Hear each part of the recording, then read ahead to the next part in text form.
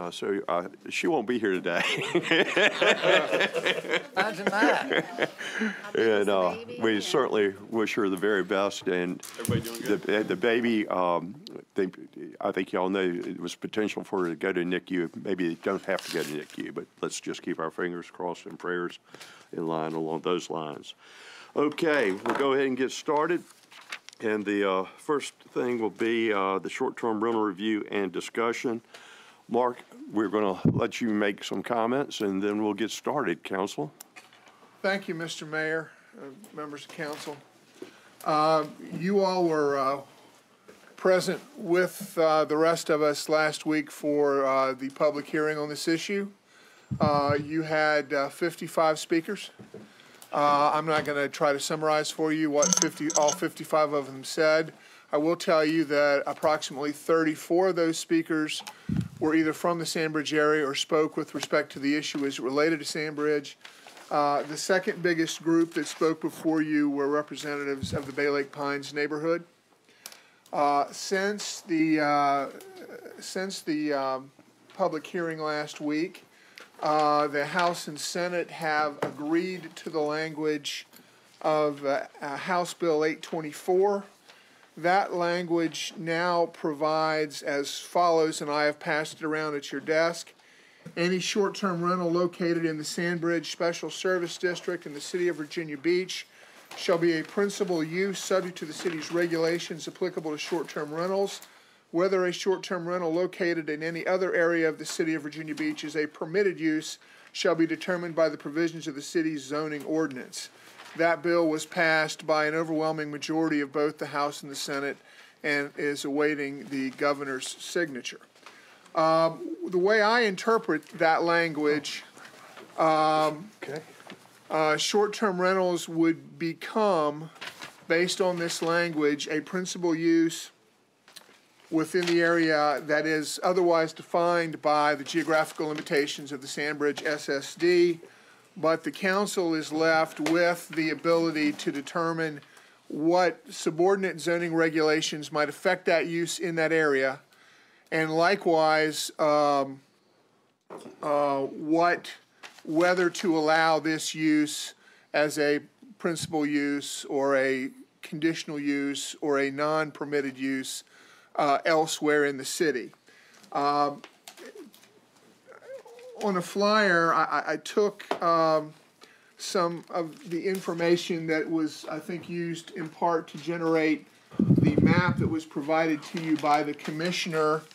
Um, And th- these numbers, I, I think, change from minute to minute, but generally speaking, from the information we could glean, approximately all, a- approximately half of all of the uh, short-term rentals that have been identified within the city are within the, um, the, um, the Sandbridge area.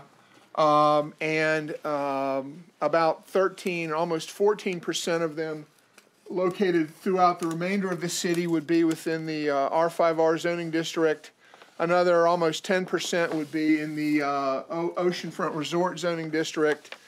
And then um, another significant uh, amount of them, approximately seven percent, would be um, within uh, our, our apartment zoning districts. So if you, if you, and that, and that sort of correlates to the dots that you see down in Sandbridge, along the resort area, up along the north end, over to the Cape Henry area, and then up to, to, to Chesapeake Beach. So uh, I don't know whether that's helpful to look at it that way or not. Another way to look at it is, is by council district. Uh, But that's basically the information we have, and I, I think this time should, is better used by listening to you than having you listen anymore to me. So I turn it over to you, Mr. Mayor. And I appreciate that. Okay, council, thoughts, please. Okay, since no one's speaking, I'll throw some thoughts out. And, uh, but please, as I do this, I hope that y'all understand that I, this should become a conversation within the whole body. And what I would say to you is I'm thinking out loud. You know, I, I would sit back and say to you that we are going to have, we've been dealt a hand that we've got to deal with, And uh, as far as dealing with Sandbridge, that has been regulated by the Commonwealth. That being said, there are other areas of the city that need to be dealt with.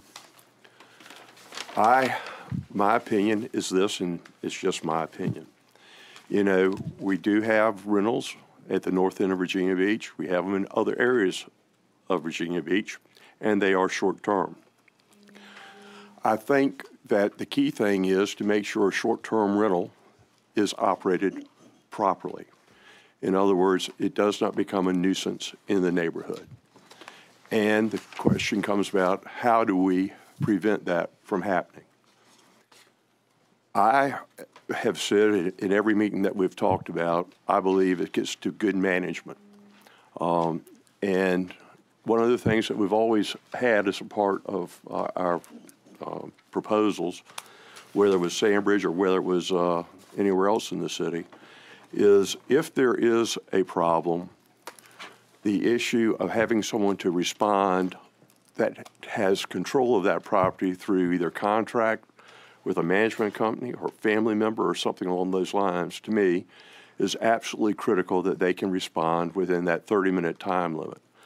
And I hope that we will always keep that in place. Shannon, thank you for shaking your head. Uh, I really believe that that's absolutely critical. I believe that good management companies aggressively try to prevent things from occurring. However, are they perfect? No. But nonetheless, a good management company is to their benefit to make sure that the properties are managed properly. The Airbnb is my concern most of all in who is going to be the representative from Airbnb if there is an issue that comes about in a neighborhood. I understand there will be a personal representative, but I want to understand more how that would be.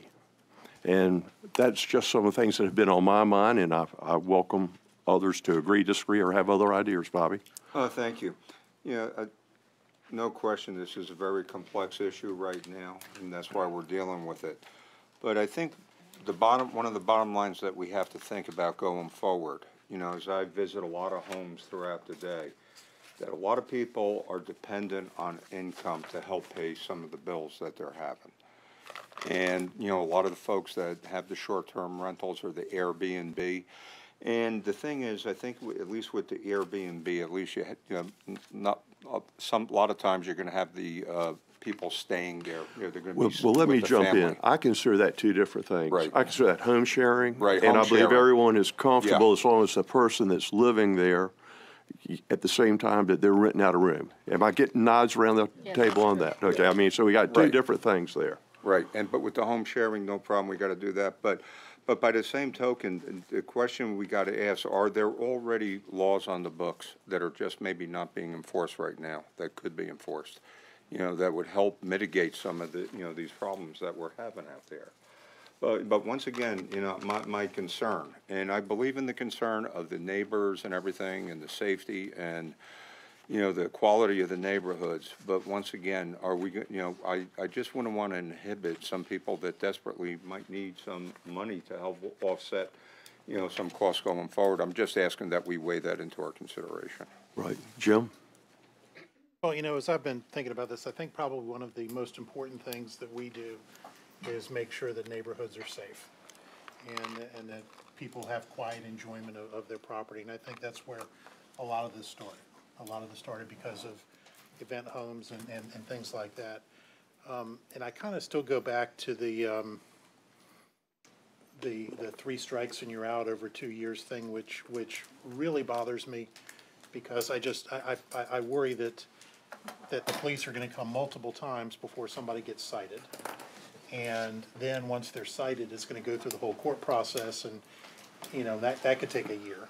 And by that time, more, more stuff could happen, so I I think the, the issue that you're gonna have there is that, that, that, that's gonna be a completely, not, not unenforceable, but a completely useless rule, because I don't think it could ever be activated unless it's a, an extremely bad house, but, but, but you have to think about it, if, if you live next door to one of these, these homes, and, you know, I'm sure ninety-nine percent of them are, are well-managed, but if there's a problem right next door to you, and you have to keep calling the police over and over and over. And we, we've seen the police chief comes here all the time and works on voluntary compliance, not writing as many tickets, trying to be proactive. Well, that doesn't help if you've got this issue that, that's moving forward. So I, I'm, I'm not comfortable with that language in any of these proposed, um, regulations. I'd like to see that, that fleshed out a little bit better.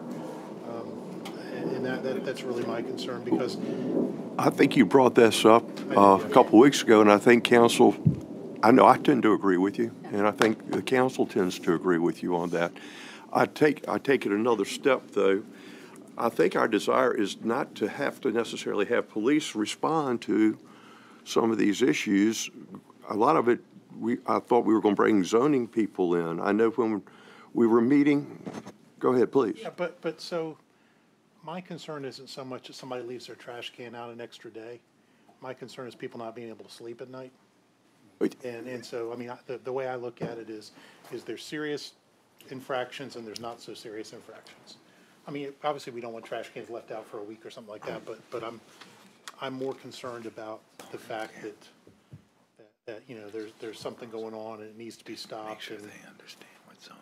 Okay, great. You asked for, uh, if there could be an administrative Yeah. later look, and I- I- was that don't know. looked at at all? The, the three violations language comes from the state statute that was passed last year. And I even talked to someone in Richmond who had a hand in drafting that, and I asked them, how do you interpret that? What exactly does that mean? And I didn't ever get, well, I got a very candid admission that it wasn't very clear. Um, so I, I believe that it would allow revocation of the registration, but remember, the registration is provided for in that state code provision doesn't even apply to someone who operates through a brick and mortar, uh, entity licensed through the state real estate, um, um, with the state real estate license. So, so I, I'm not sure that that, that provision really gets you very far. What in practice is going to happen here, I think, is that the zoning enforcement is going to come in where there are repeated complaints, there are repeated problems, and then that zoning process is by definition a long process, but after there have been a certain number of complaints, then it's gonna be incumbent upon the city to then go forward and seek an injunction against that owner to prohibit whatever the conduct is that keeps arising. And it will be that injunction, if we can get the court to issue it, which is actually gonna provide the protection. It's not gonna be the removal from the registry, I don't believe, in practice.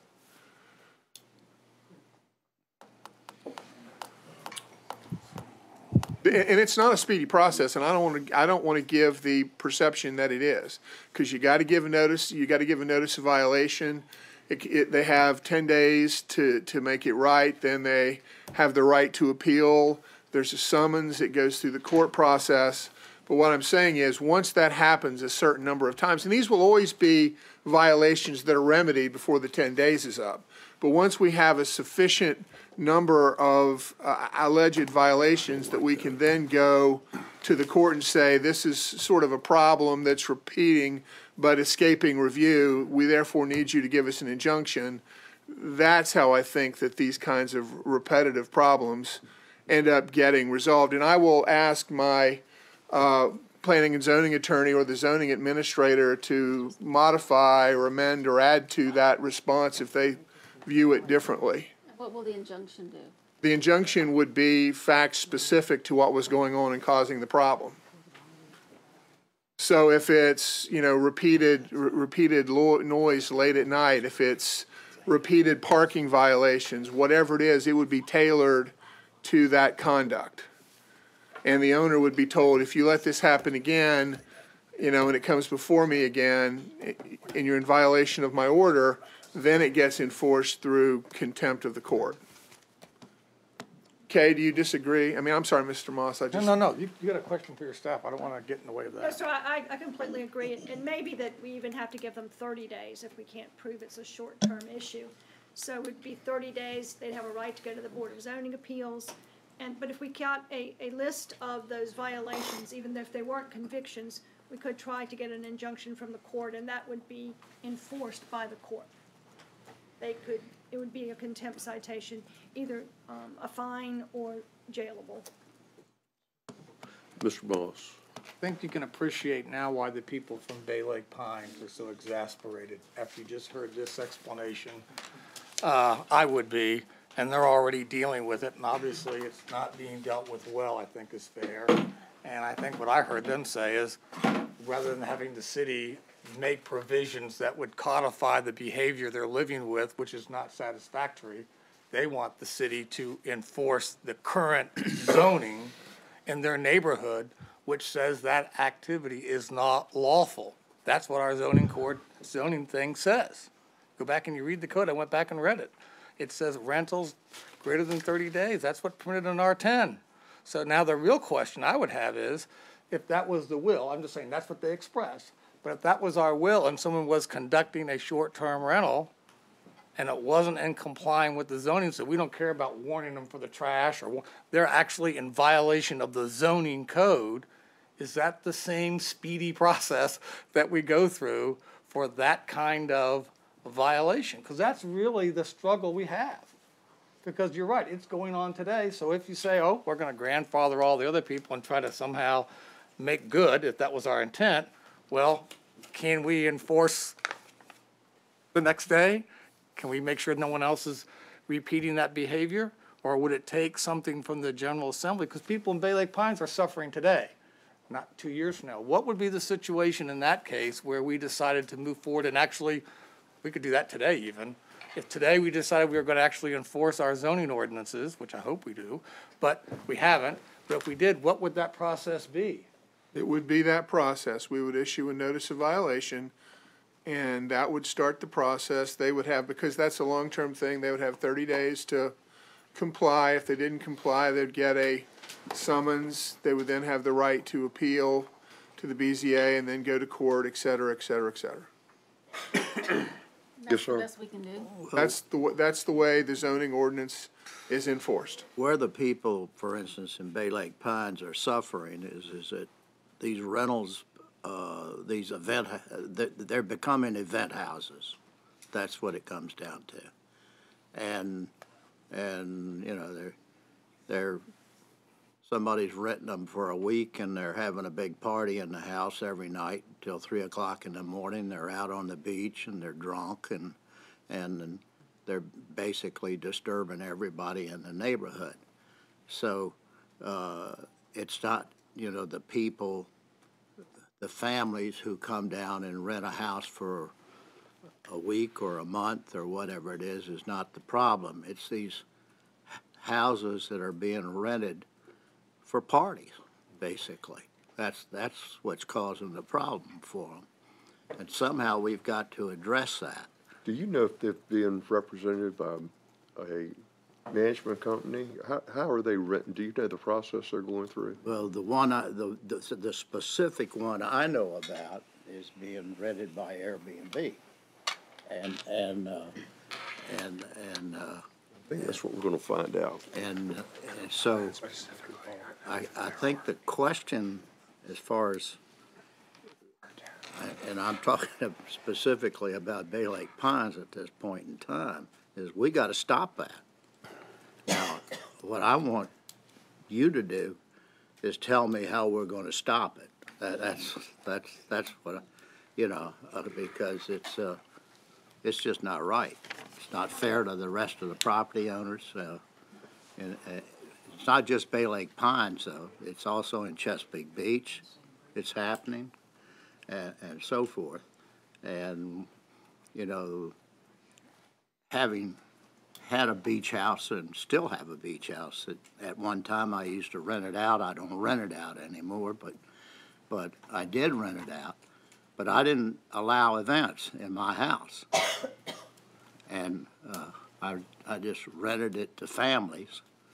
And, and I told my real estate agent, you know, if you, if I find out you've rented it for an event, you're through.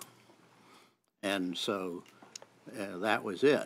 And so, uh, I think the way the first step we have to take here is we have to find a way to stop these event houses from occurring.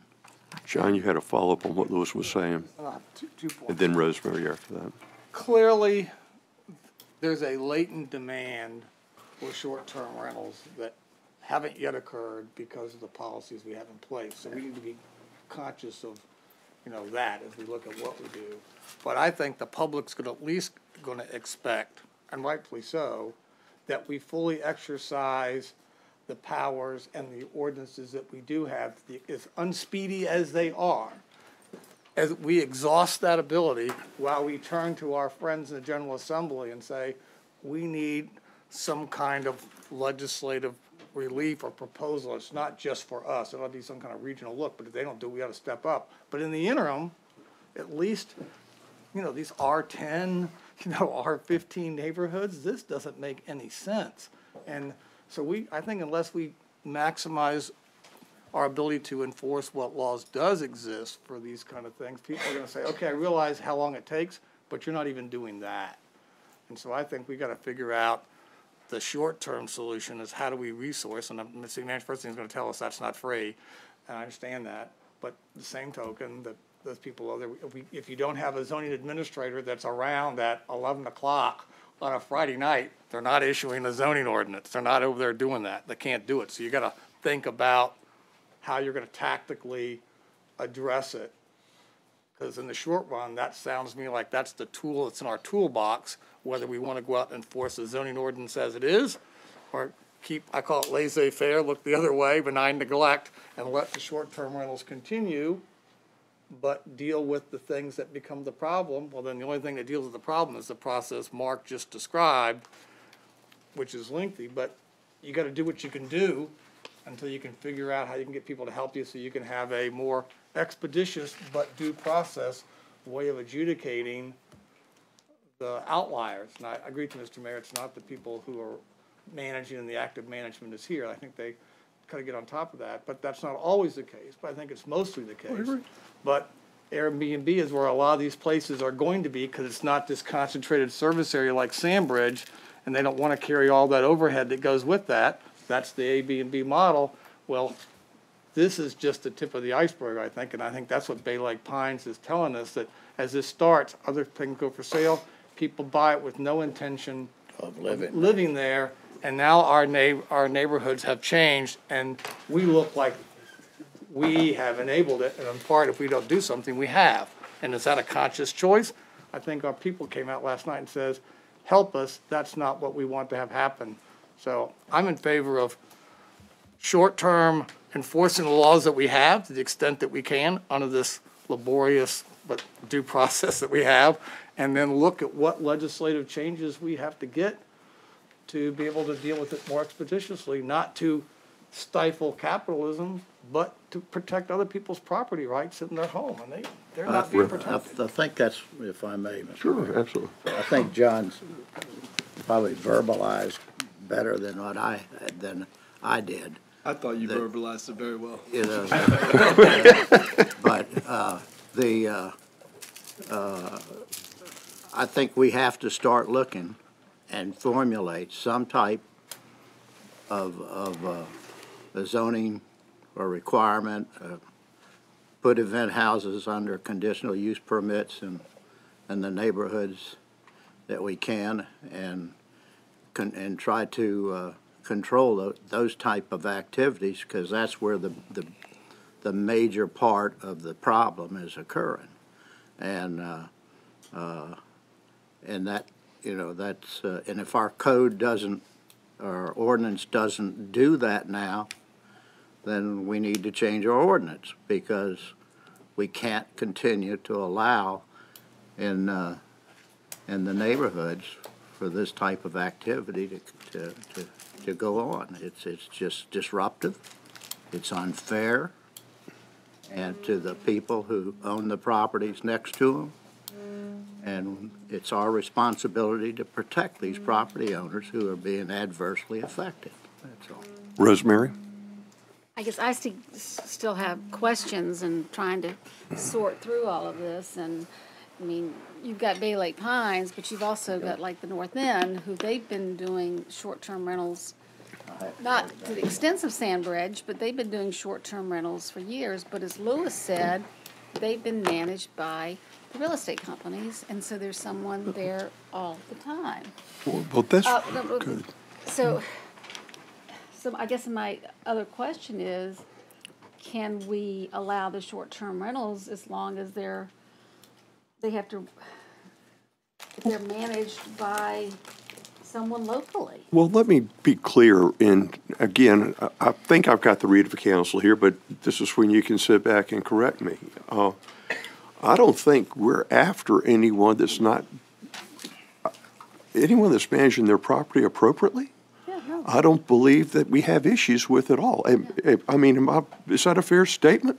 But it seems like the ones that are being mismanaged are the ones that are, there's no one on- locally watching out for them and watching out for the property. It's an entity that, who knows where they are, that everything goes online and there's no one to look into it. I mean, is there any way we can have local oversight? Well, technically, we are, by us requiring that it, could even be an individual. I mean, we're, we cannot require that a management company be managing a piece of property. But we can require that, I mean, Mark, I'm assuming we can require, because it's been part of ongoing meetings, that someone should be within a thirty-mile, thirty-minute uh, time frame to get to the property. I come back, and my twenty thousand dollar question is, how does Airbnb do that? I imagine they're gonna come up and say, well, here's Johnny, my son, or my friend, or my relative, and I'm afraid that all of a sudden, when we need that contact, it might not be available. I think there's some risk there. But I don't think we can dictate that a management company has to manage the property. Am I correct on that?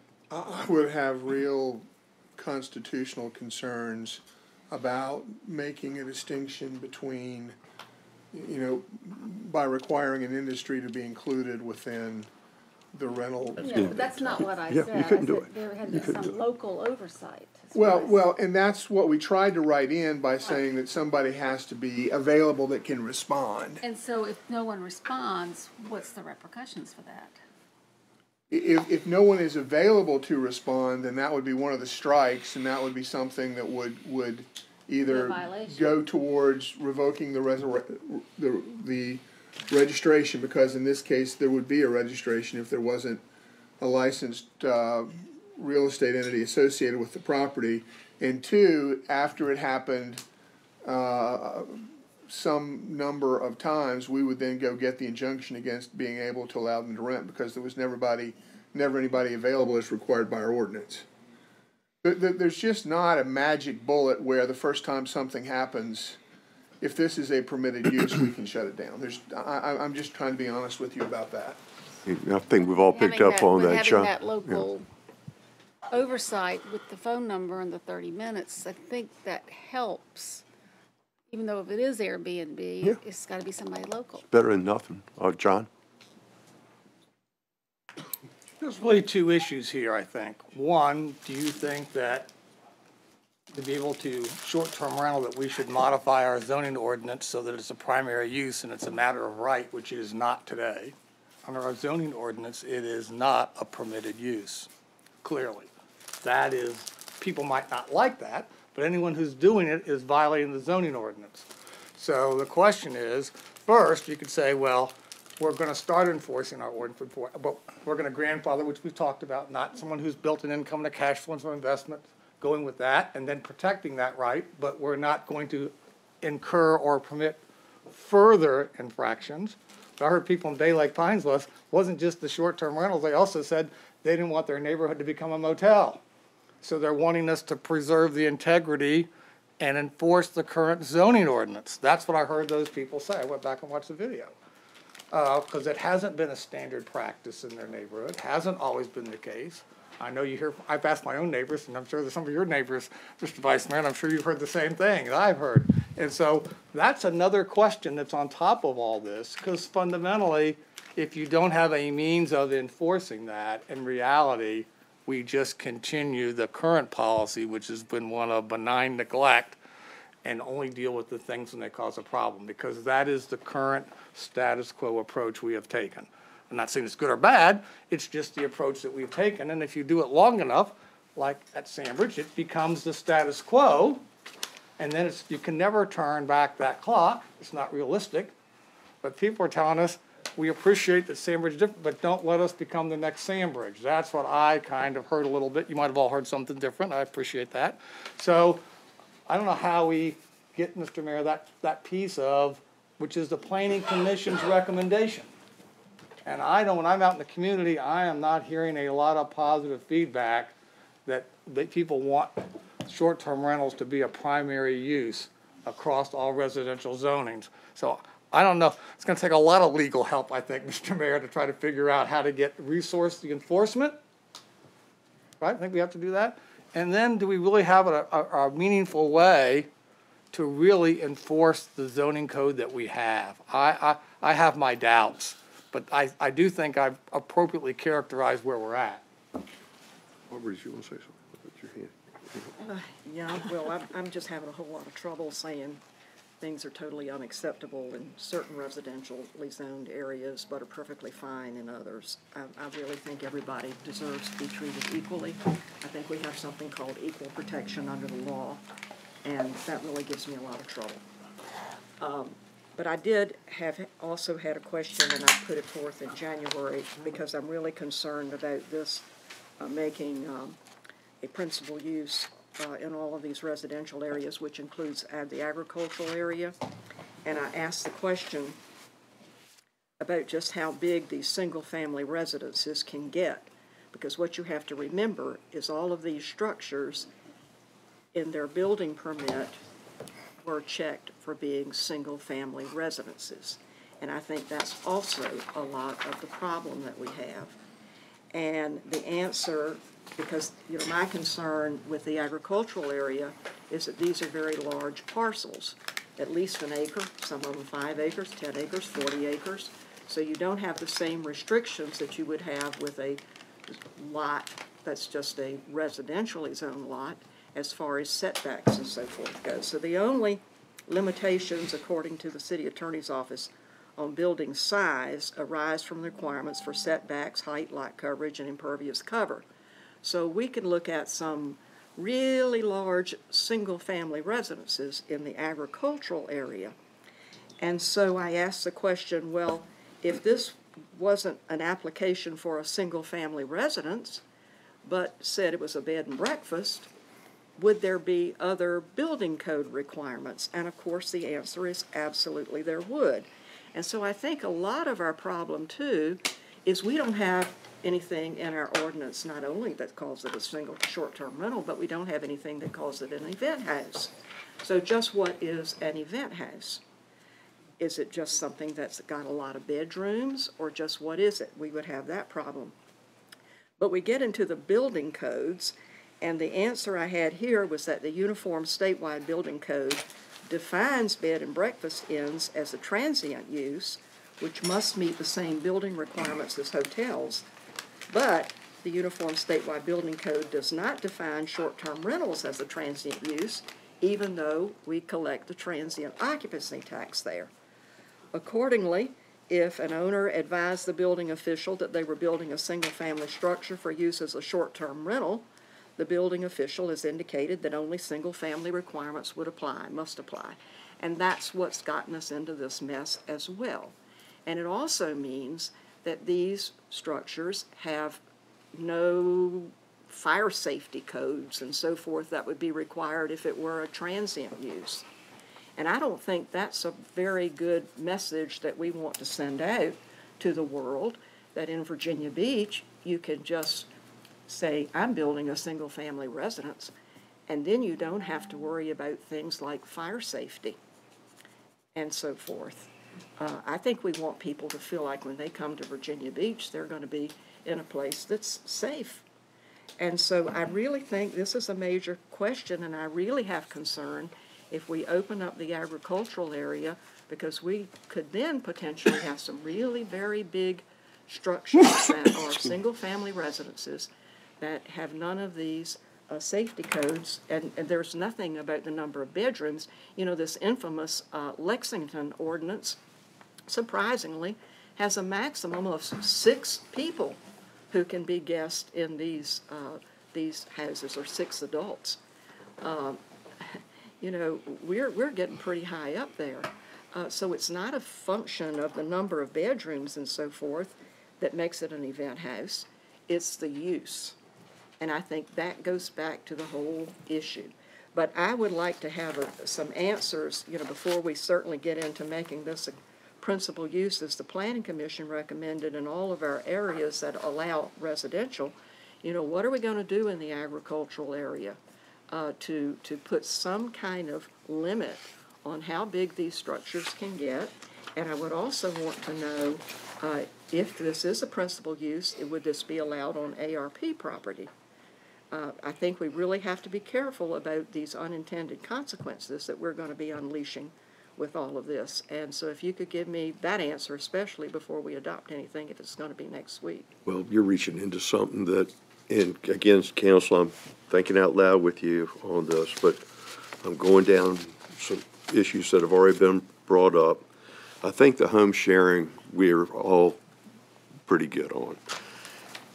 Management issues, I truly want to, I wouldn't object to someone from Airbnb coming here and telling us how they're going to protect us, you know, from a home that they're managing being, you know, if an issue comes up. I'd like to hear from Airbnb, to be fair.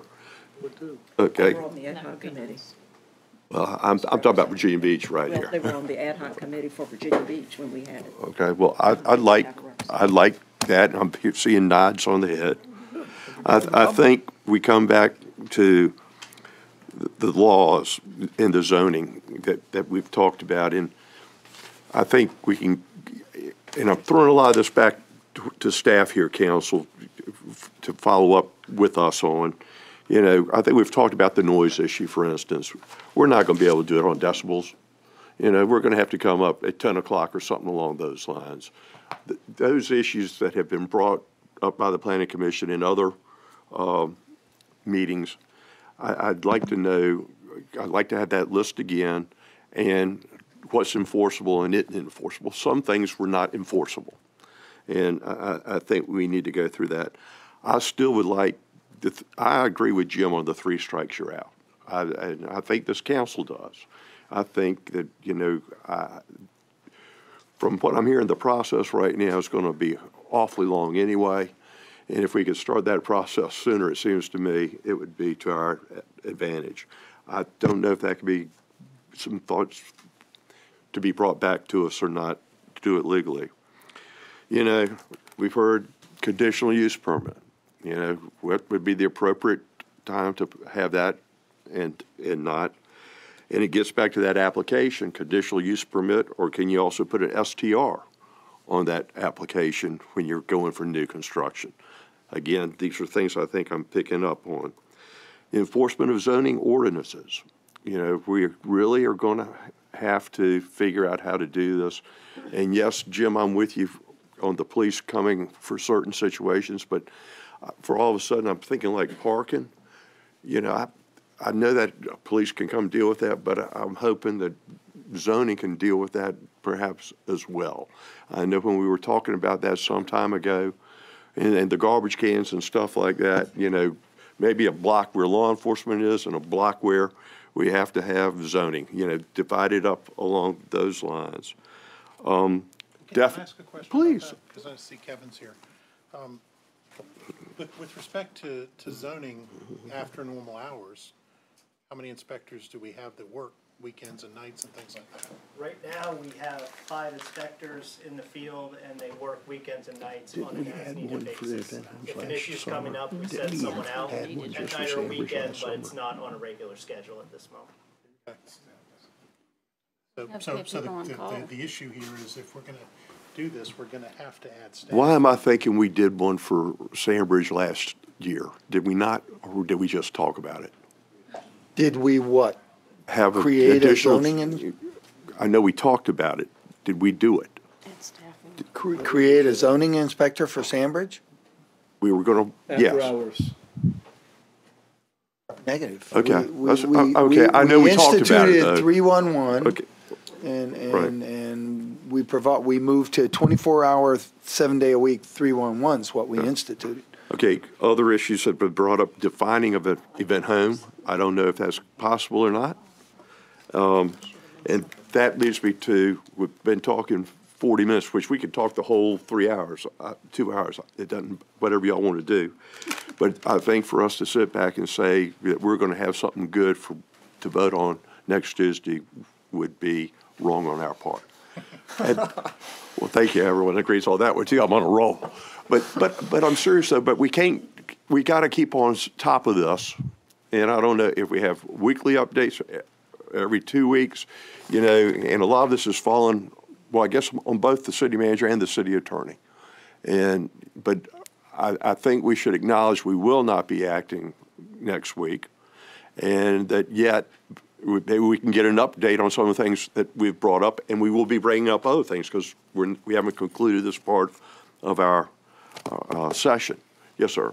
I would like to add to that list, because it would take longer, but I do think we, it, now that, because Barbara's right, we're gonna have redevelopment as well, and tear down of homes and things in the established What's parts of the caused it at city. Sandbridge to We've be already a seen it. problem. We need to look at what is it we want the planning commission, how would we need to amend our current residential zoning ordinances to make sure that as lots are torn down and things get back, some of the issues that Barbara mentioned and other places have done successfully, which is number of, you know, you don't need a fifteen-bedroom home, you know, in, in Aragona Village or in, in some of these places, or that little place on Shore Drive, or any pla- Princess Anne Plaza. How do we go about looking so that we, we catch how we got here? I think that ought to be part of that process, and I know that's not popular among many people, but it's basically what has happened at Sandbridge.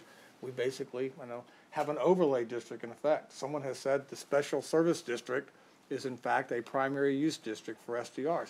There may be other places in the city where that's what people really want, and they want to change their zoning, they want that to be their choice, and then there's gonna be people where they, where they don't, and I don't think that violates any due process considerations for making people pay taxes based on eighty percent of the people saying yes, and the twenty percent saying no, and they're not, they're being treated equally within the district, but I think we can, I think we gotta look at all the choices so that the public really knows what they're reacting to. To your point, Mr. Mayor, is, is getting ordinances that the, the attorneys can show us how they're actually enforceable. So that we don't set a false expectation. I think that is key, that we know we can actually do it and what's the process. As a matter of fact, the city attorney wanted to get my attention, sir. But there's also building on Twenty-second Street, and they, they're meant to be short-term rentals. They look like townhouses all oh. grouped together. Mm-hmm. They're doing a great job with them. Yeah, they look, they're really nice looking, but they're being built to be short-term rentals. I, I just wanted to, to, to give you a couple of informational touch points. You know, w- with respect to concerns about enforcement of the zoning ordinance as it's written right now, there was a time, not that long ago, where if the zoning administrator and staff were made aware of an Airbnb rental, that they took enforcement action to shut down that Airbnb rental. Uh, when, when Airbnb continued to grow, when it became a, a statewide issue, and when we sat back and realized that, hey, look, short-term rentals are occurring, you know, at a high rate throughout our city, the concern became that it's really unfair to be selectively enforcing that prohibition against Airbnb. And that's when, it's like two years ago, we started talking about what do you really want your code to say about short-term rentals so that staff can have clear direction on where to enforce and where not to enforce. So, so there has in the past been, uh, we've actually filed suit, I think, against one Airbnb rental some years ago. Um, the, the, second thing I would say is with respect to this whole building uh, code issue and what the, the, the, the building official looks at when they get an application, that had been one of the reasons why we started thinking about your alternative two. Because we realized that people were coming in and saying, we're building a single-family home with 10, 12 bedrooms, six baths, whatever it is. But, you know, the building official really didn't have discretion to say, we don't believe you when you say that's a single-family home. The way alternative two would have helped with that issue, or at least that was the thought process, was you can tell us you're building, you know, a single-family home, but if you come in and start to rent it, there's gonna be a CUP requirement, so you can't say, I had no ex, I had no idea that I might be limited in how I was going to be able to use this property when I presented it and got it built. So you could build the twelve-bedroom home if you wanted to, but you understood that if it's a new or redevelopment, you run the risk that you have to come to council, and council doesn't give you the CUP, so don't believe coming in that you're, you're getting all the way to the finish line just by saying I'm building a single-family home. That was one of the reasons for the CUP requirement with the grandfather, was, was to, to, to try to address that. Um, I will tell you from a staff perspective, these are all good comments. How do you define an event home? We had an ad hoc committee, and we had, uh, we had, uh, another, you know, beaches and waterways who were, uh, uh, specifically tasked with trying to define when an event home was an event home. Um, and, you know, we got their recommendations, and basically, to a large degree, their recommendations are included in the ordinances that were before you. Yep. Uh, so, um, I, I, I guess what I just want you to know is, these are all valid issues, these are all valid points. The, the three strikes you're out, agree with you, it's, it's gonna be very difficult to get that to make a meaningful difference. Um, we've used a lot, we, we've spent a lot of time thinking about these issues, and, and frankly, the three alternatives that we gave you was our best thinking at the time on those issues. And, um, I don't know that our thinking has progressed a great deal in the time that's passed since that, but we'll keep thinking, we'll keep working. You know, we understand that. I that appreciate that. The direction it's coming. The other thing that I will have to say to you is, these are planning items, they had to be advertised, they have been advertised, so there will be an item on your agenda next week. Now, it can be an item that says, these matters are deferred indefinitely, uh, and council, and staff is direct, will, will, will be coming back to brief on a, a, a, a- monthly basis or bi-weekly basis. It can be whatever you want it to be, but there will have to at least be an item on. Why don't we put there deferred for thirty days, and we can always extend that time frame as we continue to move forward. But we're gonna have to stay on top of this. Yes, sir. Only because we're doing the budget, and I know that the staff thing, I would say sixty only because of the budget You know, process. Mr. Moss, I agree with you. I'm buying a That's lottery two things ticket. today, we better watch out, don't buy a lottery ticket. Yes, ma'am. If this is not being dealt with now, please be aware that it's the entire council that's making this decision and not just one. Yes, ma'am. Yes, sir. Yeah, I think, you know, this is a very King, King Solomon type of decision. There's definitely two distinct arguments that kind of go counter to each other. First of all, you know, short-term rentals, we're a resort city. It's an industry in this city.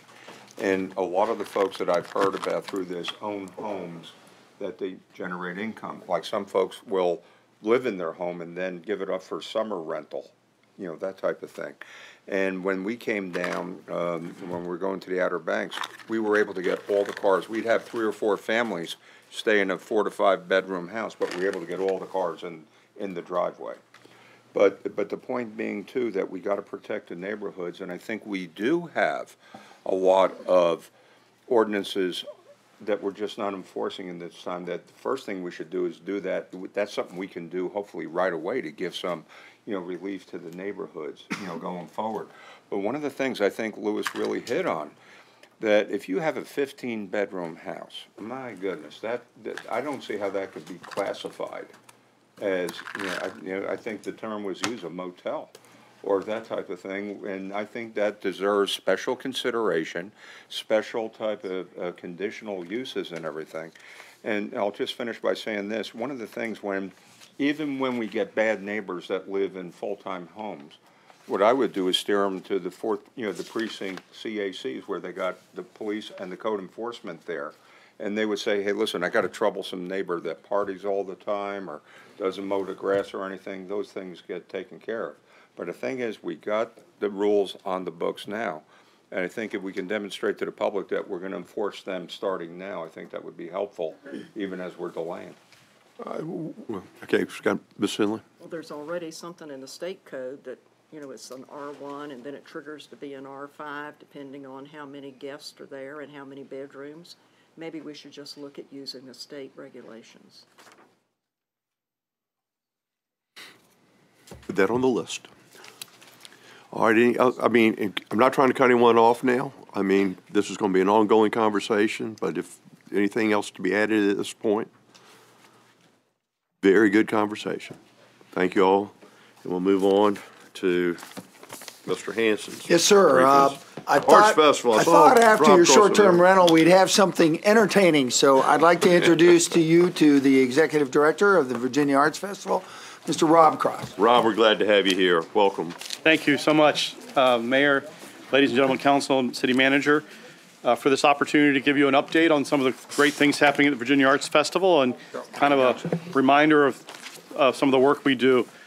Um, So just as, as I start, I'd like to remind you that Virginia Arts Festival, kind of the three pillars we're built on are bringing some of the world's great artists to Virginia Beach and our community for our citizens to enjoy and also to create fantastic opportunities for our young people with these artists that are coming into town. And then an- another piece of it that's just important, I know near and dear to all of our hearts, it kind of touches on what we're talking about earlier, is to increase tourism in that shoulder season. And I know one of the goals of Virginia Beach is to come, become a year-round tourism destination. So Virginia Arts Festival, part of our creation is how do we increase tourism in that April, May, May period when the, the hotels do have occupancy? And how do we be a vital part of economic development? So first, I thought I'd just touch on some of the world-class artists who the Virginia Arts Festival has brought to Virginia Beach in the past. Uh, Chris Botti's been here with us several times before. It, it's Ike Perlman who opened the Sandler Center, but also been back to the, the Sandler Center many times. Big Bad Voodoo Daddy. Joshua Bell, arguably the world's greatest violinist today, has been with us several times. Pilobolus Dance Company, the Israel Philharmonic. And then, as I mentioned earlier, tourism and getting the word about the cities as a cultural tourism destination is a big part of the festival. So almost all of our classical concerts are recorded and then they're offered for nationwide broadcasts. So about 15 of our concerts per year are broadcast by National Public Radio and Performance Today. And every time one of those concerts are broadcast, they're talking about this is brought to you live from Sandler Center Performing Arts or from First Presbyterian Church. So it's a great advertisement for the festival and for the city and for the region. Uh, We've had a couple recent national broadcasts. Last year, working in partnership with WHRO, we brought in Ask Me Another, one of their fantastic shows that was broadcast, recorded and broadcast nation live, nationwide from the Sandler Center. And then The Tattoo, which we know happens in Norfolk, but a lot of the participants, both the audience members and the cast are staying in Virginia Beach. That was broadcast, taped by uh, PBS, and that was broadcast nationwide. I think it was picked up in 114 markets this past year. Tourism, big part of it. I'm invited my colleague Diana Stark, who's our Director of Tourism, to say a few words about some of the initiatives that are going on in, in our tourism world. Good afternoon, everybody. Good afternoon. So tourism is a big part of what the mission is of the Arts Festival. And last year alone, we had visitors that came from near and far. Um, we had a lot of tour groups and uh, other visitors that came in. Last year, we had over um, close to 9,000 tickets that were actually sold to people coming in from outside of the area, specifically coming to 31 different festival events. Um, we had 261 groups that attended the spring events, and they came on 220 buses, which is a lot of buses and a lot of people. We like to say it's it's better to sell uh, 50 tickets at a time than one ticket at a time. So uh, we do go after those larger groups. Uh, one of the uh, biggest tourism draws for the Virginia Arts Festival is the Virginia International Pan Fest. Um, this is both uh, part of the education program and also the tourism program of the Arts Festival. It is the only event of its kind in the United States, and it is held right here in Virginia Beach on the 24th Street stage. Uh, it launched in 2003 with nine bands and about 200 students, and over the course of the years, uh, it's reached over 290 bands, 6,400 participants, and they've traveled from as far away as Trinidad and Tobago, the Dominica, and also the U.S. Virgin Islands.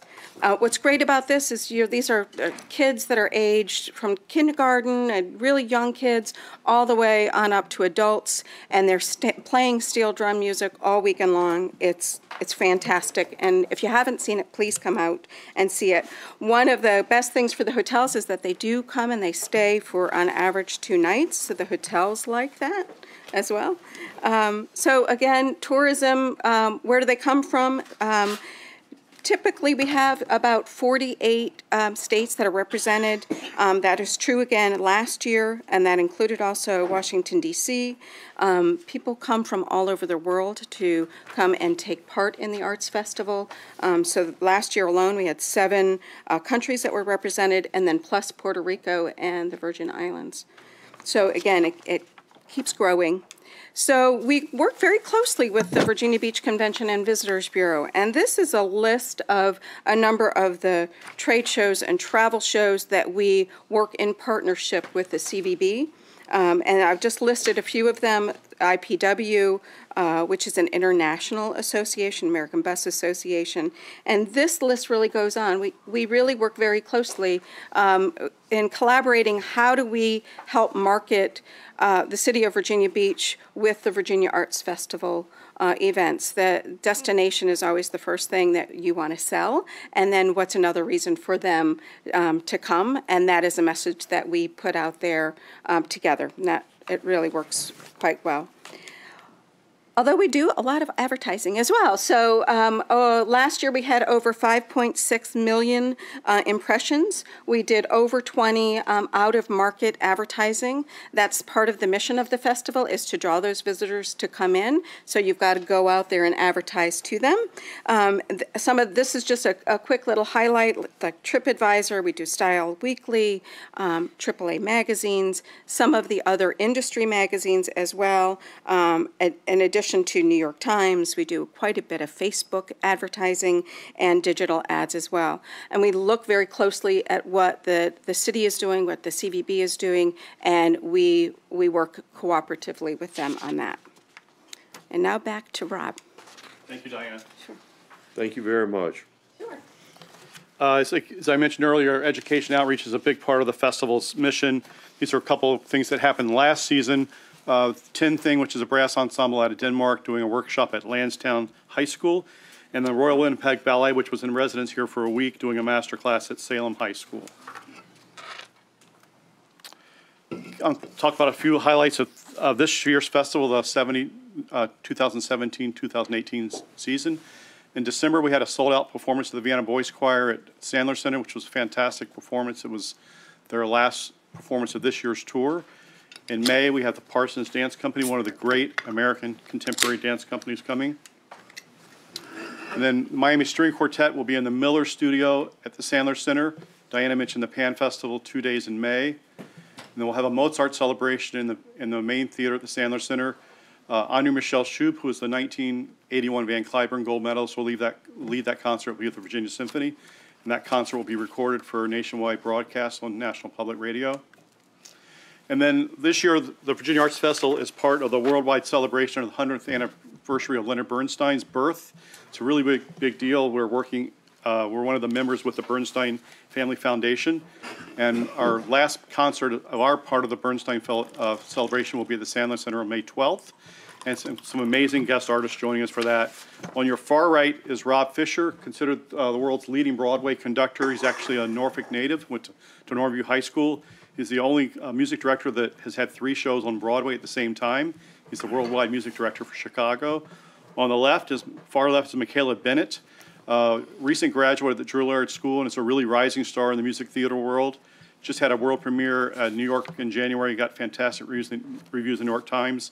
And to her right, or our right, is Ross Lekites, and he's a new cast member in Frozen, which is getting ready to open on Broadway. And then next to her is our special guest, Brooke Shields. If she'd like to meet the mayor when she's here, I'll make myself available. Has asked if she could have a reception. Uh, everyone knows her from her movie star days, but she's also a fantastic Broadway star. She's been on Cabaret in Chicago on Broadway and gotten fantastic reviews. So this will be with the Virginia Symphony. Um, so that's a big, big deal for the, the festival. Uh, Rob has been part of the worldwide celebration for the Bernstein celebration. So he opened their year-long celebration at the Kennedy Center in November with the National Symphony Orchestra, and he'll close that part of it with, in Carnegie Hall in May, right after he's here in Virginia Beach with the New York Philharmonic. This year's education program is very, very vibrant. Uh, we have Mariah Brass was in a couple weeks ago doing workshops at Kellam High School, Princess Anne, and Larkspur.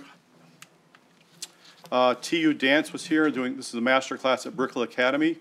And then we have Bur- Birmingham Royal Ballet that will be here for a week um, in May, and they'll be doing workshops at Salem High School, at Brickell Academy, and then a lot of Virginia Beach uh, Public School students will be going to the Friday morning student matinee.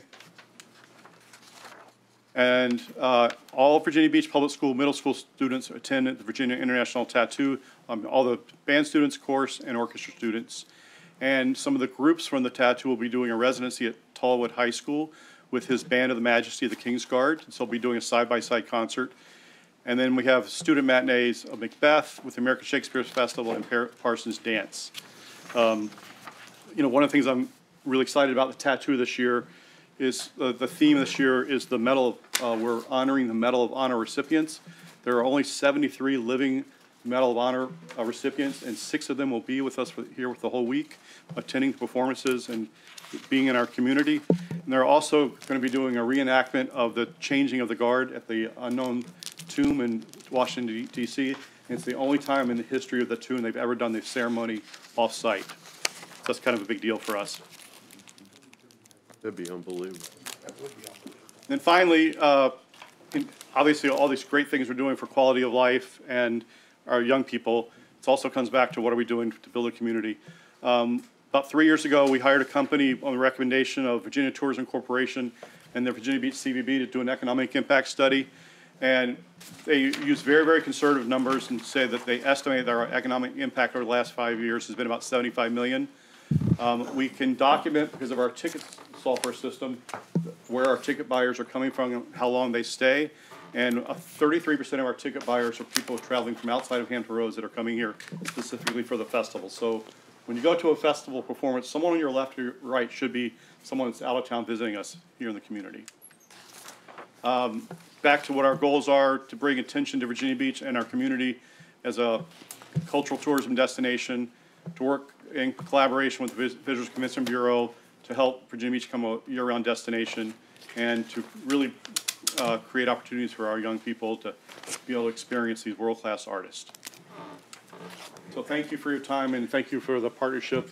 Virginia Beach has been a partner with us since the festival started in 1997. Well, Rob, we appreciate the wonderful talent you bring and also uh, bringing new people to the city and also uh, sharing with our schools. Very important stuff. We thank you. Thank you. Thanks, Rob. Thank you so much. Thanks for coming. Okay. Stormwater, where's Mark Jones? So uh, the Public Works team is coming through the door, and uh, remember, we have uh, th- three components. We have operations, uh, we have water quality, and we have water quantity. And so uh, it takes, uh, it takes a village to manage stormwater in Virginia Beach, and uh, so I've got uh, three of the best managers uh, possible here today. And uh, I guess Tony is gonna, you're first up? I am. Tony, we're glad to have you. Good afternoon, Mayor, ma- members of council. I'm going to start the uh, presentation today to- to uh, discuss some of the uh, budget issues that the stormwater program continues to have. As you know, flood control has become a critical neighborhood issue and is more complicated and expensive. Stormwater quality regulations and permitting are more demanding, and compliance is mandatory. More complicated projects and regulations are increasing operation and maintenance requirements. And aging infrastructure is increasing the amount of maintenance needs. So all of this, I'm pointing out to you to, to note that future stormwater utility fee increases will be necessary to address current and future funding needs for stormwater management projects. Before you lose all, the, the new administration has actively gone out and asked people to come forward and to solicit and request waivers from regulations that don't make sense. Have we engaged the feds on their invitation to actually pursue those waivers and relief from things that don't make sense? I know other communities are. Are we pursuing any of those? Yeah, we, we, work through DEQ, Mr. Moss, uh, and the state, because the state's underneath, uh, uh, the, uh, court findings with the EPA and the Chesapeake Bay Foundation and TMDL requirements. Uh, we're all the time pushing them hard on some of their perspectives, and we've been very fortunate for them being here and doing the Veterans, uh, Hospital, uh, stormwater program, and I can tell you, they're learning a lot about how different the coastal region is to the Piedmont, where they put a lot of their rules in Well, I understand the consent decree, but the EPA is a party to that agreement. There is a new managerial philosophy at the EPA than there was in the prior administration. I'm just asking, is the state engaging that new philosophy and looking for relief that makes sense? That's all I'm asking. I ask you to pursue that. Yes, They're very sir. open to new ideas. Will do. Um, the Stormwater Capital Improvement Program is made up of three sections, uh, flood control, water quality and regulatory compliance, and operations and maintenance. Uh, I'm going to give the flood control portion of the CIP, followed by Melanie Coffey, who will present on the water quality and regulatory compliance CIP, and Mark Jones will wrap up the presentation on operations and maintenance CIP.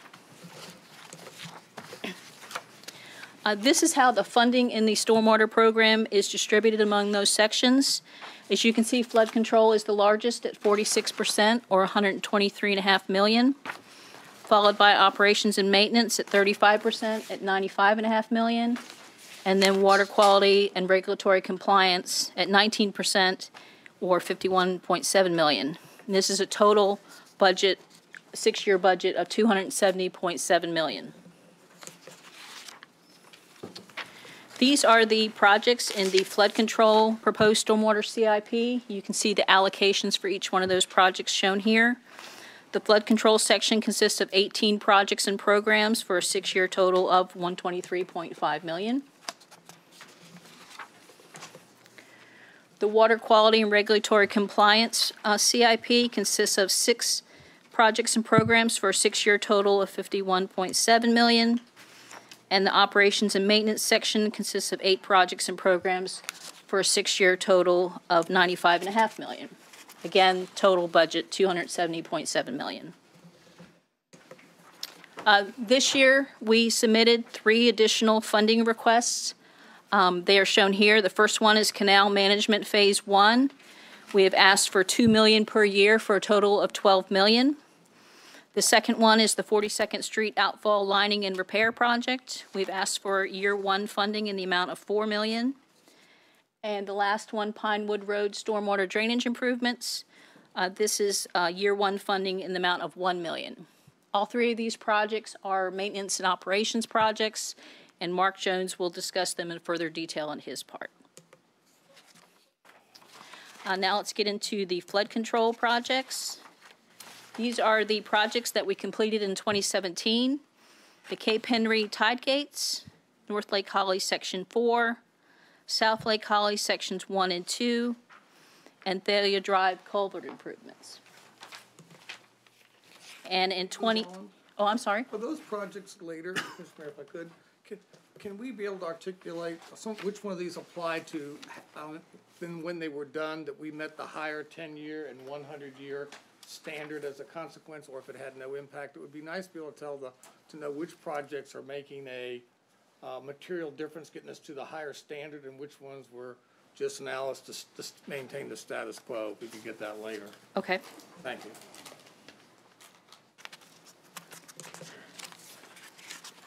These are the projects that are currently under construction in 2018. Uh, Northgate Ditch and Windsor Woods Canal, South Lake Holly Section 4, Bellamy Manor outfall ditch, the Lake Smith Weir replacement project, and North Lake Holly Section 3A.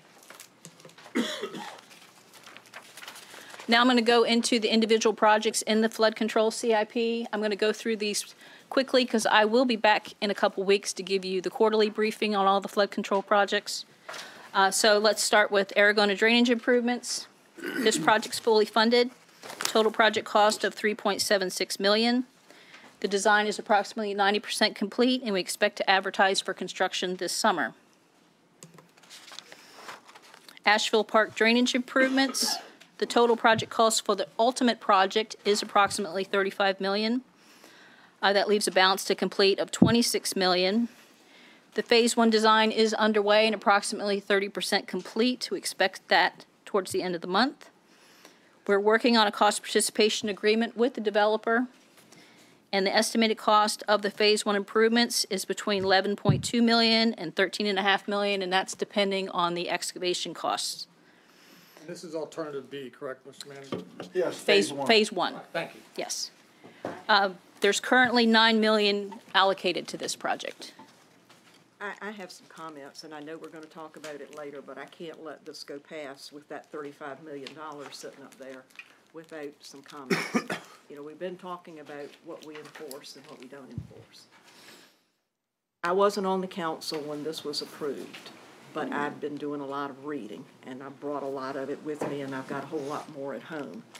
But ever since two thousand four, when this uh, development was first approved, it's always been a conditional zoning. I was always under the impression that when we did a conditional zoning project, that we were approving a specific site plan or a specific plan for the overall development. And if that plan was not or could not be developed, it wasn't still in force. Well, what was approved in two thousand four, of course, then was changed a little bit in two thousand five, got changed again a little bit more. And we were looking at again another change in two thousand fifteen when we deferred it indefinitely because by that time we realized that there was something very badly wrong with that area. That original plan is not being developed, is not being developed, cannot be developed. And I don't believe that we are committed and that we have to allow and make certain that this project gets four hundred and ninety-nine units, because that's what was approved in two thousand four. Four hundred and ninety-nine units was a conditional approval for that plan that was approved at that time. They can no longer build that plan. So I really don't believe that there are four hundred and ninety-nine units that that developer is assured. And when I look at the fact that in order to do all of that, and this is from the uh, uh, thing we got two weeks ago, February twenty-sixth, that um, I understand that this is a tough situation for HomeFed, the current developer, but it's also tough for the 299 families in villages A and B. And I appreciate that. Those are the people who are living there now, and I can see we have a, a responsibility to them. However, it says, and for the taxpayers in Virginia Beach that are being asked to fund Phase One, and now it's, it was eight point something, and now it's up to thirteen and a half. So all of those original estimates were way under what it's going to cost. And then the rest of this to fund Phase One and the more costly Phase Two at some future point. I just really have some problems that we're sitting here and committing some future council to another twenty-six million dollars for this development that's only partially built. I mean, if we're having to do all of this work and we're talking about having to go to the taxpayers to raise their stormwater fees for current properties and current people, but when we're doing it for future development, I've got a lot of problems.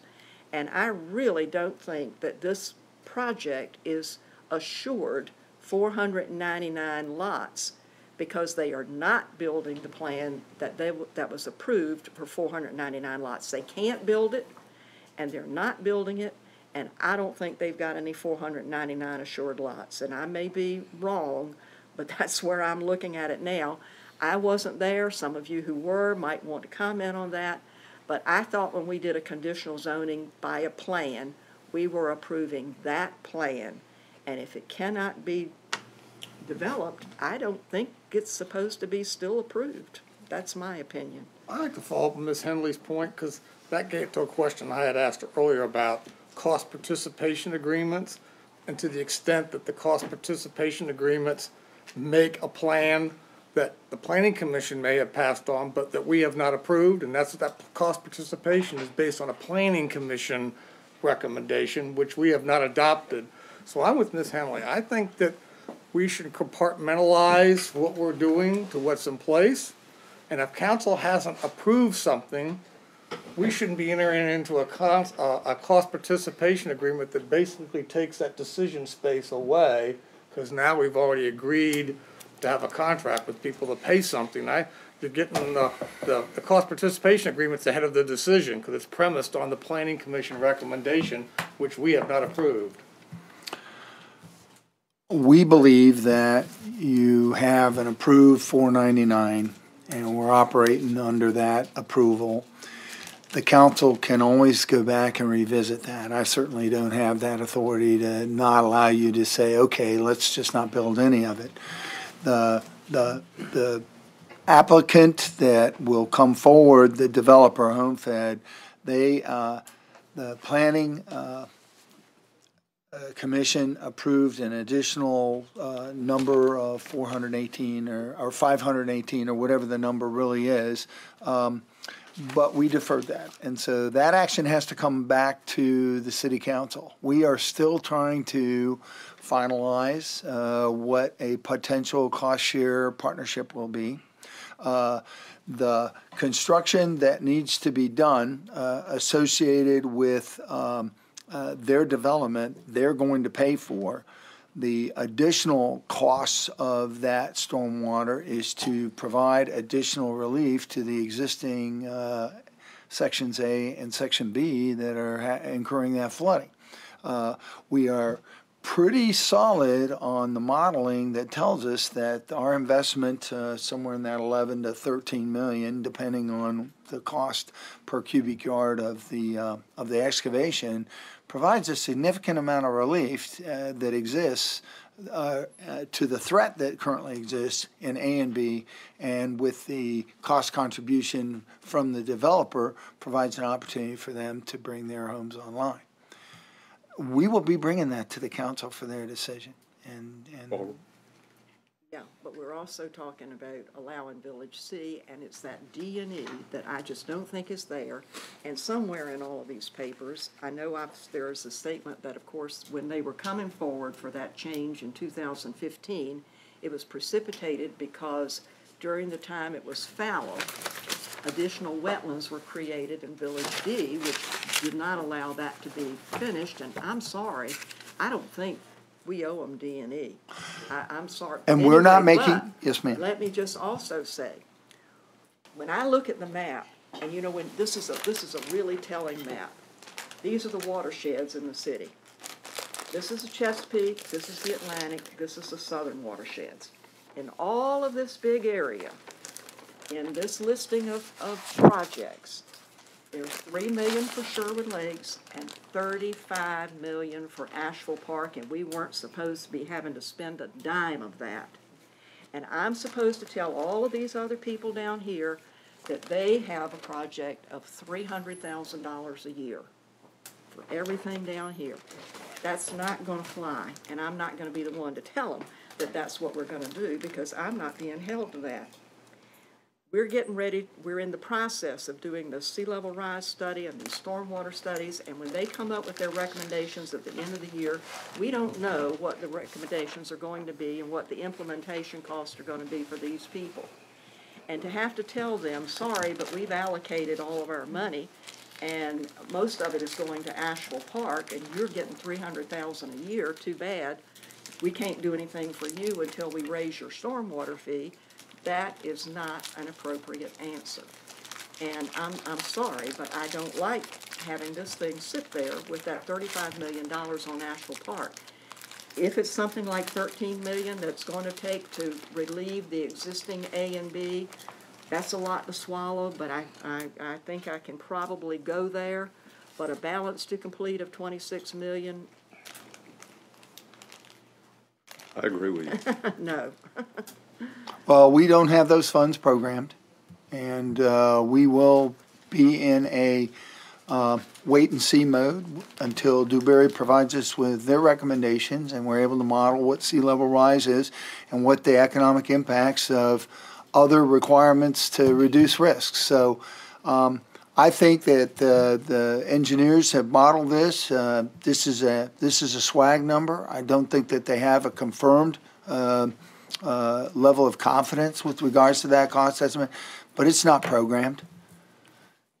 I think what's key is, I don't want HomeFed or anyone else thinking that the people that sit here today, or just speaking for myself, I think Barbara might be in the same place, is that they should have any, take away any indications from any cost participation agreement from A and B, that that creates any emotional bond or any other consideration that there will be a favorable disposition about the development of the rest Well, of their well, to be development. fair, I think Dave said that. Well, well, I'm That's just, not what it these it papers didn't, say. it didn't come across that way, and if I didn't hear you right, I Maybe I- apologize, and thank you for saying I think Dave said it that. pretty clearly. But I might- maybe I make feel better now that I said it clearly. We are focused, let me, let me just, The let me paper's just, right. let me publicly state that we're only focused on S- Village C, and we've made no commitments to D and E. And, and, and Tom, and we need to bring this back as a standalone conversation. Uh, y- y- I understand how you feel about this. We, we have sufficient funds to move forward uh, with uh, the phase one, and, but we are counting on HomeFed being a partner to do that. And, and, Shannon has a question, then Louis. sure. Um, yes, I met with a group of the homeowners today, as you know, from Ashville Park, and their concern, um, was they've made concessions, if you will. They're willing to make concessions to allow the density in this next village, if, you know, in the pond and the runoff and all of that. But their concern is, you know, we've made these concessions, we'll make this happen for now, but when the developer comes back in five, ten, however many years, what's gonna happen to villages D and E? Can, and they asked me to ask the city attorney, I mean, I, as Barbara said, we can't commit future councils to doing anything.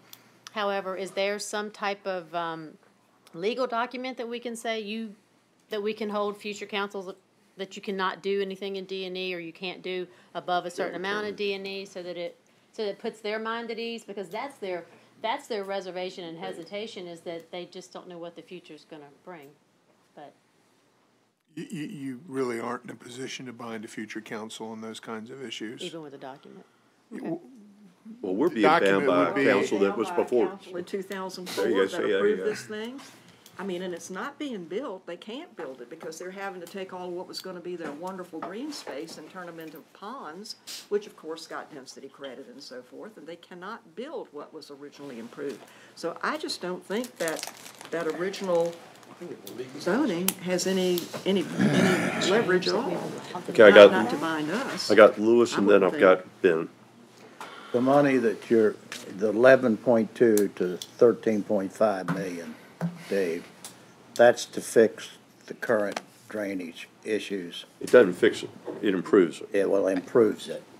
To, improves the current drainage issues in what has been developed, is that correct? And allows section C to meet the stormwater requirements uh, for the enhanced. Section C and is not developed, right? Correct? So my question is, why are we spending money to help, what's the company's name, Home, what? HomeFed, Home Fed, to bring on partial C. uh, develop section C? Uh, they bought this project out of bankruptcy, I think, or something like that. It wasn't actually bankrupt. And when they bought it, didn't they accept that responsibility for, de- for future development of the project? So they built with the, the Somewhat. terms that were already there in the, in the. Ben, you want to specifications. interject something here? Yes, I, I was going to interject. I, I think, you know, I, I completely agree with what Barbara said about the conditional rezoning. Um, you know, the aspect that I, think that we would be wise not to lose sight of is the cost participation factor. And if we were to, um, you know, uh, uh, give HomeFed the idea that, um, you know, there is no room for negotiation um, on any way, what would prevent them from folding the LLC and walking away, which would leave us in an even worse problem. So I think that we have to be careful that we don't leave HomeFed with the impression that there is no room for negotiation here. I think the worst thing that could happen is if they walked away. And Dave, we might as well send home Parks and Rec and Shore Drive, because we're gonna be on this for another half hour. If we decide to wrestle out, uh, Ashville Park tonight, uh, as We're opposed to get having a project delivery meeting and we can work that out. The, the true answer is, that is I not, think we should send them home. I will, absolutely. Okay. Um, they're, they're, they're listening. They know what's going on. They're back there. They're placing bets that we ain't getting to them. Um, Mr. Jones, I would. I don't think your statement is correct. We're not spending money on their project, and Tom's been negotiating that. So since we're into it, let me let him just give you a thumbnail sketch. Okay. So Phase One's primary purpose is to move water from east, from west to east. It takes the water from the four existing uh, ponds that are in between Wilshire and Rainier and moves it all the way over to Ashville Bridge Creek, including the modifications and the pump station to get that water out of the system. As a practical matter, it's almost impossible for us to design a system that gives relief to A and B and not be not have C be able to get into it. It's just it, it, it, it's just not practical. We can't size things like that, and it would be silly to do it given they have by right uh, development rights. Now, option one, uh, phase one, only will allow uh, the development of C, and it doesn't matter under any decision the council makes, whether the council uh, decides uh, uh, to allow additional density or not. Phase one will handle that. Phase one will not allow D and E to develop. There are additional uh, features in D and E that have to be constructed, and the developer would have to either pay for them or at a minimum cost participate with them in the future. And finally, phase one does work independently of any future phases because a lot of the phase two work is actually digging up uh, the streets in Ash in the existing villages and replacing those pipes. But the thing about phase one is it keeps the water out of their homes in a 100 year storm, and the water will clear in hours instead of days. And that's what makes the big difference. I understand that, and I appreciate that. My concern is, is that we're not getting ourselves in a position, and it doesn't sound like we are, but I wanna, I guess I would wa- wanna caution, uh, that we should not get ourselves in a position to where we're going to be, uh, paying for changes in design in D and E, uh, when the owners of the property now bought that property knowing what the condition was, and they're, they're, they should be responsible for improving D and E themselves without city participation. That's my thought, that's all. And we concur, that's what Tom said, and that, w- that is our operating principle as well. The Ron Section means business only. But I keep reading that, okay, uh, in Village C, they want, they want five lots that they thought they would do in Village B that they didn't build, so what, they want those five lots now over in Village C. And they wanna take, what, sixteen lots out of potential Village D and put in Village C. So they're still going by that original plan, and I just think that original plan is moot. And maybe that's not right, but if it's not the truth, we need to know it for future things. Because I was always under the impression that when we approved a conditional zoning, we were approving that plan. And that plan was what had to get built, or it wasn't viable. And if that's not right, let me know, because we've got Well, some Mark, other can you develop- answer that? I'd like to see that in writing. Mark, can you answer that? Okay, can, can you address that? Well, Kay, can you answer that? After you answer it, would you When in put it in doubt, writing? delegate. Um, when you approve a conditional rezoning, you are approving the plan substantially in compliance. And as such, many, most times, the plan is not exactly what you all approved. And so it is done substantially in compliance. The planning director normally moves a few things around that he doesn't, he does not feel are substantially outside of the bounds. The, the project for Ashville Park was approved with four hundred ninety-nine in all of these villages. And that's what they have. They have the right to have four hundred and ninety-nine lots, as long as they can meet other development. They have to meet stormwater, they've got to meet floodplains, they've got to meet all of the other um, environmental and any other kind of regulatory thing. So when they go through final site plan review, the plan may change because they can't do some of the things where they wanted to do them.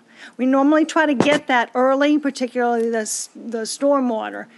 However, lots of times the regulations have changed on a lot of people, and so these are the reasons that it will not look exactly like what you thought it was gonna look like. Does that mean the planning director can put those number of homes that she just spoke to in section C? Uh, no, that has come back to you all. He didn't feel that was in substantial compliance. So that went through planning commission. To know. So that went through, as Kay said, that went through planning commission, we deferred, and Miss Henley's right. They, they, they, they originally wanted to do a land swap, uh, uh, uh, a unit density swap with Elbow Farms. That, that's, that's kicked to the curb, and they, they are taking those density from D and E. There were two different applications. One Check. that dealt with Elbow Farms, and then the other one that just dealt with these Yeah. readjustments to Village C. Yes. But I, I don't know, but I, I just, I, I- I just have an awful lot of trouble trying to explain why the taxpayers are having to pick up this thirty-five million dollars that was supposed to have been done right the first time, and when you stand up there and say everything about that system is wrong, you know, that, that, that's just, that's just hard to explain. Who defines substantial? Uh, who determines if it's substantial or not? The planning director. Subs, thirty-five million is substantial. We got that, we got that one. This has gone along, but you just said, so it takes the thirteen point five to take care of the sections that are currently developed and also that would do, correct? To get them to a level compliant with the hundred-year Right, flood, but it still allows, because the pipe size doesn't drain fast enough, it still fills the streets. It just, at the hundred year, will ensure it doesn't get into the houses. so the delta, just to make sure, the balance part, the part that Barbara was talking about, is now the part you mentioned about tearing up the streets and so that the streets don't flood. I just wanna make sure that, we talk about a lot of things here, and sometimes the people listening can lose track of all the moving pieces, and I certainly was. Right. So I just wanna make sure, so this keeps the homes from flooding, the balance is to keep the streets from flooding. The, I, I Most get, of the time. yes, yes, sir. I get in trouble using nuisance ponding when people really are, say it's flooding. But I would define as, we get into that nuisance ponding at the hundred year flood. Okay, I got you. Above a hundred years, all bets are off. Yep, I'm Got with it, all right. Thank you.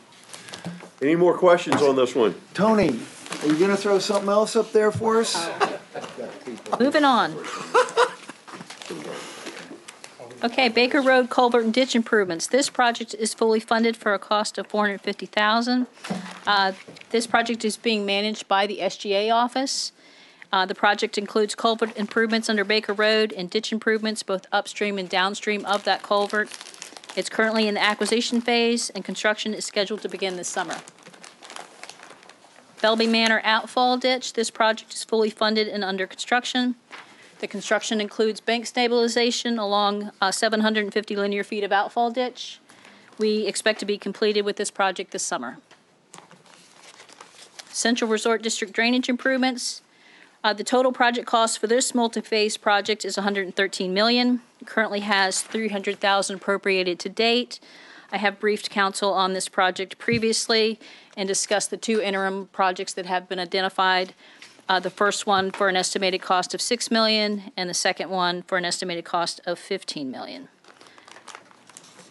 Finally, observation on that, Mr. Mayor, I said it before, we'll talk about it during budget, but I think when you look at these bills that are coming there, and I'll say it again, I'll be talking about during budget, the stormwater management fee is not an effective solution to finance the capital construction of these projects.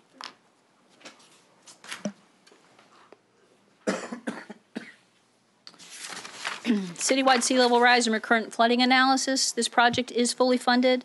Uh, the project is responsible for analyzing the four major watersheds located in the city and developing a response plan for each uh, watershed.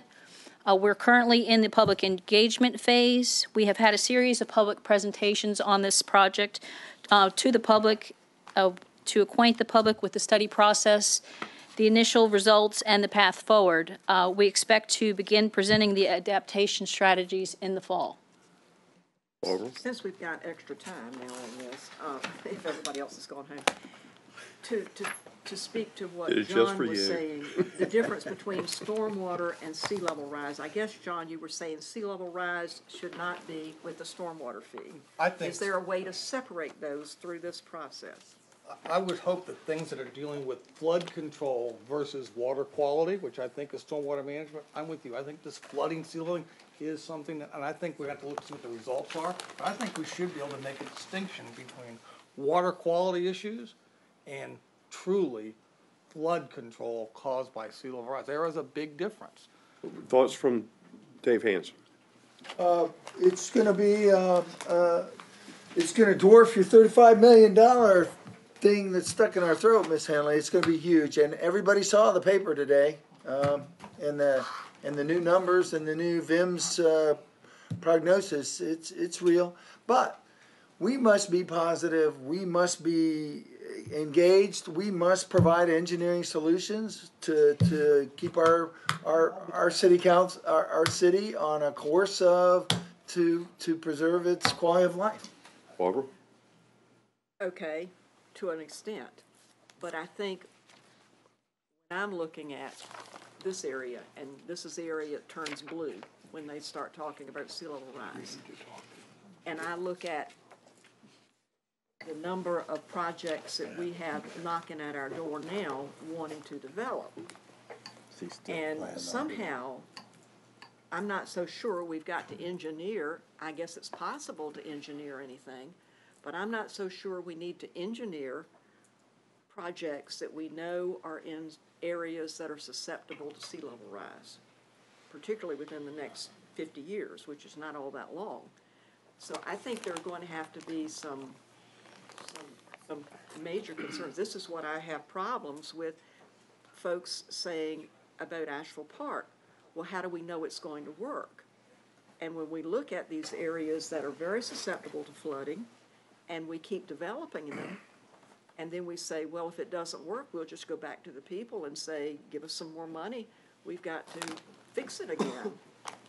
At, at some point, I think we can say engineering is not the answer, that, you know, so somehow or in there, there's gonna have to be some, some recognition that, you know, everything maybe can be engineered, but that might not be the practical way to do it. And we really have to start thinking about the people who are gonna buy these homes in these susceptible areas. And, you know, to, to keep building homes in areas where we know in all probability, within the time frame of this study, are gonna be flooding. Maybe they're not flooding today, but by the time they get their mortgage paid, they will. I mean, I think we've really got to, got to start looking at this thing in a different fashion. Well, to- To your point, communities already are experiencing what they call daytime flooding and it's not raining. And, uh. We get someti- that every spring. Give us two more months and we'll have it all over the place at the southern part of the city. Well, the philosophy of berm, pond, and pump is designed to sectionalize, to quadrant out, if you will, uh, these areas, uh, not unlike other low-lying uh, areas that have developed. Um, and you're going to have to engineer. That's why we have 31 drainage areas in the city, and each one of them acts independently, and then they all flow to the waters of the United States. And and so there will be areas, Miss Henley, that uh, are in all likelihood there's no affordable means by which we can, but, but we have to preserve certain elements. And, and we're in, we're, we're already in for a pound uh, in that transition area and the areas that we're talking about now. And abandonment is not a, is not a course of action that we can have. And we think that this eleven to thirteen million dollar, well-modeled and will work and will entertain and will survive sea level rise is a berm pond and pump. It's elaborate, uh, and it's extensive.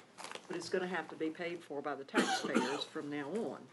And that's where I think that's, you know, we, we, somehow or other, uh, you know, in, in the old days, if we really thought that the, okay, the developer was gonna put in the stormwater system and it was gonna work and the, but now we're finding out that that's not the way it's going to be, and it's really gonna be up to the public to continue paying this. I think we've gotta be perfectly honest with people and, and I think folks are That's- gonna that's- too much Barbara, I when we keep talking about raising their stormwater fees, because I keep hearing from people that they've got about all they want as far as stormwater fees, especially on that commercial rate. I, I think that's a, a very wise point that Barbara makes, and, you know, if you look at. Smart young um, man. Uh, you know, in Hurricane Matthew, when we experienced our last flooding, which that's the last flooding we experienced in the city of Virginia Beach, was, uh, in two thousand sixteen, Hurricane Matthew, which was a, a record-breaking storm, everybody would agree that. But, uh, you had, uh, a significant, much more significant flooding in Raleigh, North Carolina. Um, and in Raleigh, North Carolina, they have begun to look at, um, you know, what is the cost to fix this? Can we fix it? And is this something that the taxpayer is willing to take on? Now, in certain, you know, aspects uh, of the city, um, you know, uh, I think that uh, most people who have been around here a long time know that the further you get off the ridge, the lower the land gets. Um, and, and so I think that's where we're experiencing a lot of this flooding that I think that's the flooding that you're referring to, the daytime flooding and That ridge ain't very wide. it's not very wide. Um, and, and I think that most people who have been around here for any time know that for a fact. Um, and so, you know, uh, John talks about something that I completely agree with all the time. You know, you have, uh, you know, what is the cost to mitigate the risk? And, you know, I think that that is a question that may need to be asked at some point. How much is the taxpayer willing to uh, raise the stormwater fee uh, to mitigate a risk that may not be mitigatable? Is that a Well, word? but there you, I think you just hit the nail on the head. Yeah. You know, some, and there are a lot of cases, and I think I've heard Dave say this, to be fair. There are a lot of cases that this is not going to be fixable, and you can't even put a price on it. And I- I guess a lot of that's in your area, too. The answer to your question, I think, is the, o- and I think the only answer really, because I agree, I don't think you can raise the stormwater fee to cover the cost. So you're really in a situation You can't to where develop you it. have to reprioritize where you spend your money. That's what you're gonna have to do. Absolutely. I said And that that's what they're before doing in last Raleigh, year. North Carolina right now, and it's obviously very controversial. But are they pulling out of an area, for instance, There- that they're there's just an saying, area we're not where- going to try to fix this? There's an area where they've said, yes, in the uh, Crab, Crabtree, uh, I'll go back and look at the article, but yes, there's an area where they have essentially said it doesn't matter how much That- money we dump into that dump may into be the other option. There there may be areas where you, you have to take that Mm-hmm. option. There may be areas where you reprioritize. That, that's, that's a hard conversation that unfortunately we may, at some point, if the newspaper article this morning was correct, uh, that we may have to have. But not right now. But, no, but to, build- But but we can't keep rezoning and allowing more houses to be But- built until we have that conversation. Well, we need to model to make sure that we're incorporating sea level rise and that we have a high level of confidence, engineering confidence, that we can create a solution that will per- be able to withstand sea level rise. And test that model. It's a fairly cal, it's very calibrated. Every time it rains, they're calibrating to say, this is what the model says it should be. They go out, they check what the rain did, and they go, holy cow, we're getting close. Or we have to adapt the model, and, and it's calibrated, and we won't make decisions on anything that isn't We're gonna calibrated. be out of here at six. We got fifteen more minutes. We plan to be out of here. If Tony just. Tony, moves aren't the you charge enjoying this? We, we like it every time you come All right. visit with us. College Park level green drainage improvements. This project's fully funded at a cost of five hundred thousand. Uh, this project will address drainage inadequacies in these two subdivisions. Um, a preliminary design phase identified some pipe locations that require cleaning and inspection, and that work is gonna begin in a couple months. Eastern Shore Drive Drainage Phase One. This is a multi-phase project. Phase One, Sections One and Two are funded in the current CIP. The total project cost exceeds 83 million for all of the phases, which leaves a balance to complete of 27.1 million. I was coming down in front of the fire station last night from Westminster, and we hadn't had that much snow or rain.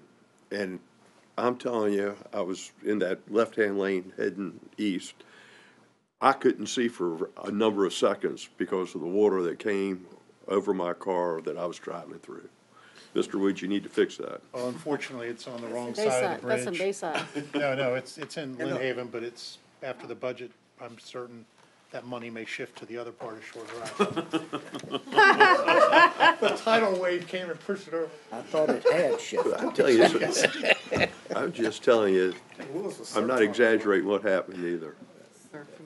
I was, I was blurred out for, Well, what happened to you is, what happened to you is the water comes through a pipe that uh, goes from land side into the ocean, and that push that came over the, the, the wind pushed that high tide up, and it backed it in. I bet it was a geyser coming out of this. I, I, I knew At that it was backing Westminster. up. I knew it was the time. Way to slow the presentation down there, Mr. Mayor. Good job. Hey, Great job. go ahead, young, Tony, I'm sorry, no one's gonna interrupt you. Sixty more slides. You got you got 14, 13 and a half minutes.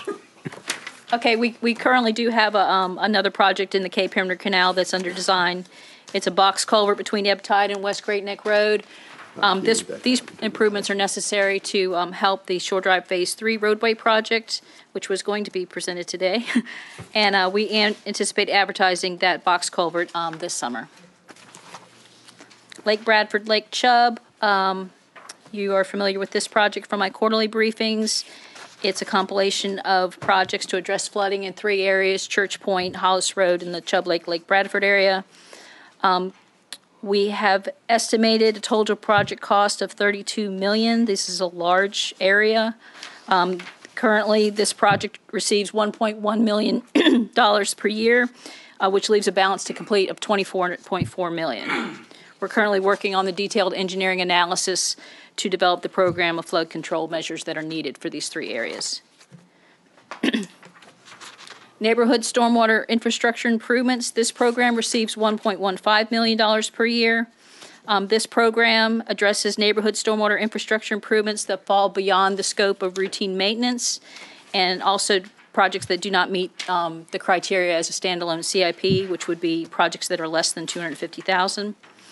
Uh, New projects are added to the list each year based on reported flooding. We currently have two active projects in this program. Both are in the preliminary design phase. The first one is at 50th Street, and the second one is the um, pump station modification at Goodspeed Road. North Lake Holly watershed, um, you're very familiar with this project. It's been around quite a while. Four sections have been completed. Section three was broken into two phases to accommodate um, the funding, the way it was allocated. Section 3A is under construction now, and Section 3B will go to construction in July of 2020. Um, Section 1C includes embankment improvements along North Lake Holly, and that's scheduled to begin construction in 2019. Um, I do want to report that we are currently showing this project as fully funded. However, uh, with some preliminary estimates we have, Section 3B may need some additional funding in 2021. Sherwood Lakes drainage improvements, this project is fully funded at a total project cost of three million. Uh, the design is comple- complete and we expect to advertise for construction, uh, this summer. South Lake Holly watershed, this project is fully funded and under construction. Uh, three out of the four sections are complete. The four section, uh, the, the last section, um, will be complete by the end of 2019. Southern Canal Lead Ditch and Culvert Improvements Project. Um, This project is for the design and construction of drainage improvements um, in the southern watersheds. Pleasant Ridge Road is the next project, and it's currently in the preliminary design stages. This program receives $300,000 per year. And you can see on the slide some of the projects we've completed under this program. Stormwater Master Planning Analysis and Inventory. This project, as you know, is updating the uh, city stormwater master plans. Project is totally funded, um, and I will give you an update on the schedule in my quarterly briefing in a couple weeks. And finally, Windsor Woods, Princess Anne Plaza, and the Lakes. All three of these projects are funded in the 15-year stormwater program. However, on this slide, I am showing a balance to complete because this is just showing the six-year CIP program. Um, We are currently in the first phase, which is um, doing the detailed engineering analysis. We expect to have that analysis complete this summer, and I will give you a lot more details on this project in a couple weeks. With that, I'm going to turn it over to Melanie. Melanie, we're glad to have you here. Thank you. I will try to talk quickly, keeping in mind the time that we have. Thank you. So I'm going to talk about water quality regulatory compliance. uh, And basically, I just wanted to point out a quick few accomplishments for the past year. We created a, a comprehensive update to our MS4 program plan. We executed that uh, SWIFT agreement with HRSD. And we've also successfully completed an audit that we had with DEQ back in March. Um, That went well, so on to our CIPs. Well, Congratulations. Yeah, thank you. Uh, Surface Water Regulatory Compliance Program is used to fund our operational compliance activities for our stormwater permit.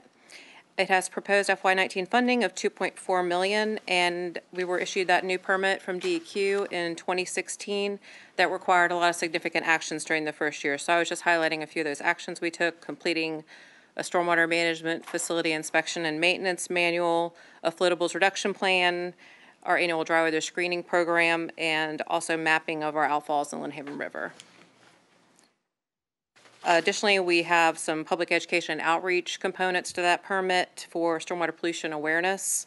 So some of the initiatives we've completed are educational materials. We have an outreach plan now that kind of defines our activities over the next four years of our permit.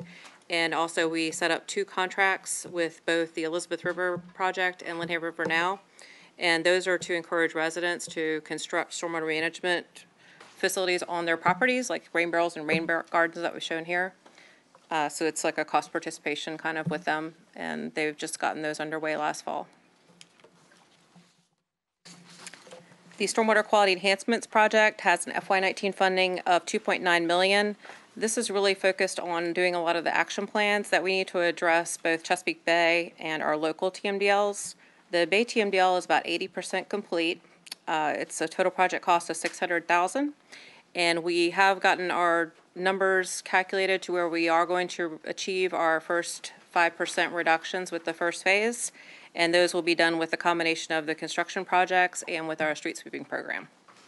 We plan to meet those future compliance uh, requirements for the next phases using that pollutant trading agreement with HRSD for the Sustainable Water Initiative for tomorrow.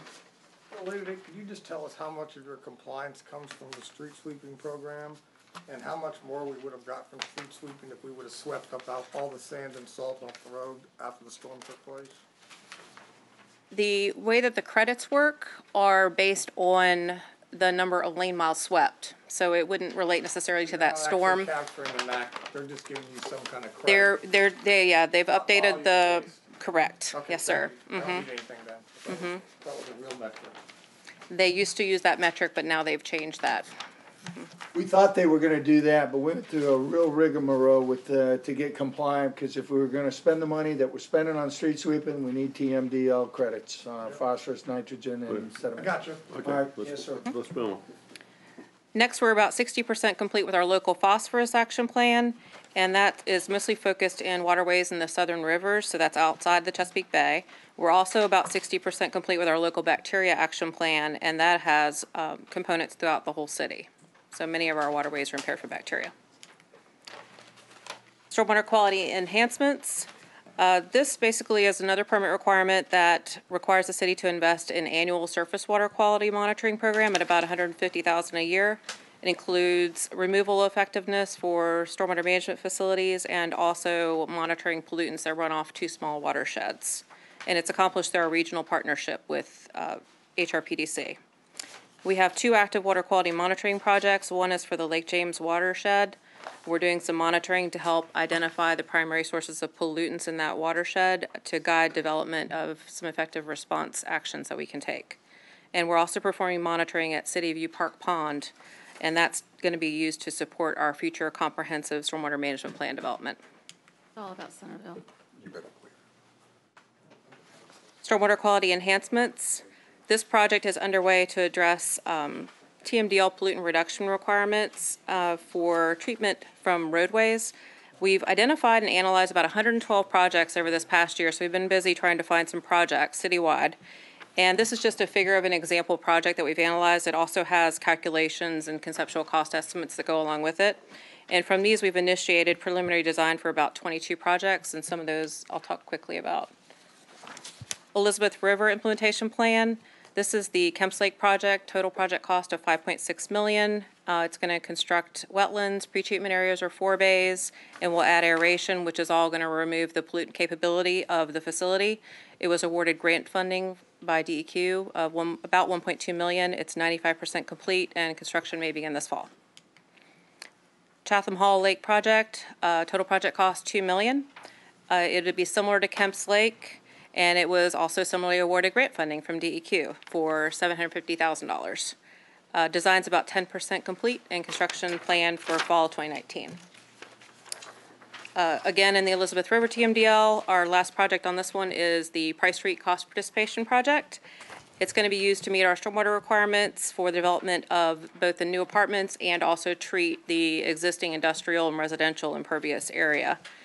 Uh, The city portion of the project is 2.9 million, and we are going to be using this towards our Chesapeake Bay TMDL compliance. Construction is expected to begin early this summer. Lynnhaven River Watershed has a total FY19 funding of 1.8 million, uh, and it also is focused on project improvements. New project is Bayville Lake. We're going to be doing a similar retrofit to Chatham and Kemps Lake, and we would be using this for compliance with our local bacteria TMDL. The project has a unique opportunity since it's located at Bayville Park. It's one of Parks and Recreation's three dog parks, so we're going to take advantage of that for some public education. On to Southern Rivers, getting close.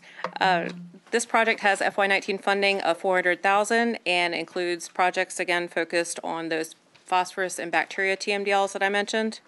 Uh, Along General Booth Boulevard, we've identified a project to construct two stormwater facilities. One is at uh, Dam Neck Station Road, and the other one is at London Bridge Road. They're both shown in the green dots on the map. Total project cost of those two facilities would be 570,000. And the next project is located at Indian River Road and Lynnhaven Parkway with a cost of about 260,000. This is going to street wa- stormwater runoff again from Indian River Road, and it's going to address both our local phosphorus and bacteria TMDL. Uh, It's likely going to be a type of manufactured stormwater treatment at this location. And I'd like to go ahead and just turn it over to Mark Jones to talk about the operations and maintenance side. Thank you for your time. Lord, go ahead, thank you for your presentation. Mr. Vice Mayor, Mayor, Member City Council, City Manager, thank you. Um, Stormwater Operations is tasked with maintaining all of the drainage systems to maximize their lifespan and effectiveness. We use six CIPs totaling about 15 million a year to accomplish this. CIP 7416, this CIP is used for stormwater pipeline, re- pipeline rehabilitations, upgrades and related items. Under this, we do typical neighborhood rehabilitation projects. The entire drainage system in the area is cleaned, videotaped, and then repaired. We recently completed Green Run, Glenwood, Pine Ridge, and Kings Grant. We are nearing completion of Magic Hollow, Fairfield, Landstown Lakes, Lynnhaven Woods are underway to be completed. The CIP also funds corrugated steel pipe, CCTV and slip lining, contractor repaired cave-ins, smaller scale drainage projects. CIP 7415, canal management or lake management. This CIP is used for lake dredging and associated lake maintenance. Before this CIP was added, it was projected that the lakes were on a 950-year dredging cycle. The CIP has brought the cycle time down to 95 years. We have dredged 13 lakes thus far under the CIP, utilizing existing funds Public Work maintains a prioritized list out to the year 2026 that includes the top 50 lakes that need dredging. A New CIP for the canal program has been submitted for adoption in FY19 to assist with maintaining the 95-year cycle time. We're also seeing more dam and outfall maintenance needs, which has, which has a potential impact on current cycle times for the lake dredging. CIP 7023, infrastructure improvements. The CIP is the one we use to supplement the activities of our in-house ditch crews via contracts to maintain the off-road ditches in the city. This year, we're working in zones A in the north, I in the south, along with doing several ditches from previous years that were not completed. Currently, we're in a 12-year cycle, down from the original 16-year cycle, but not at our goal of eight years yet. 7412, stormwater pump station modifications. As you can see, the CIP does the major maintenance projects in our 15 stormwater pump stations. We're currently working through a rehabilitation program that will ultimately overhaul each of the stations. Current funding level will only do an average of one station per year, requiring 15 years to complete. 7411, um, Facilities Maintenance CIP maintains the ocean fronts flood control projects. This is the largest flood control project in the city. We have the commitment to the Corps of Engineers to maintain their structure. Annual inspections by the Corps have noted issues requiring substantial maintenance by the city. Stair nosing replacements are currently in progress. 7026, cost participation. The CIP funds our cost participation programs for both roadside piping and lake vegetation control.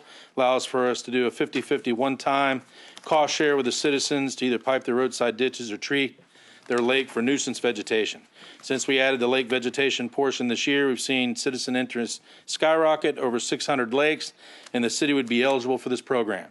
The current average cost for each one-time lake treatment averages 1,000 to 10,000 per lake. Six lake treatments have been completed thus far. First above target have request. apply for it? Do- Does the community have to apply for their lake, or do they, how are you? Yes, ma'am. Each uh, home association applies. Uh, We've worked out a deal with the city attorney's office for an eighty percent agreement. They pay their fifty percent. We arrange the uh, contractor to go out and treat the lake. Check goes back to the CIP, refunds uh, that fifty percent to cost participate for the next. Mr. Jones? Yes, sir. How do the communities know that- that they are, that they need to apply?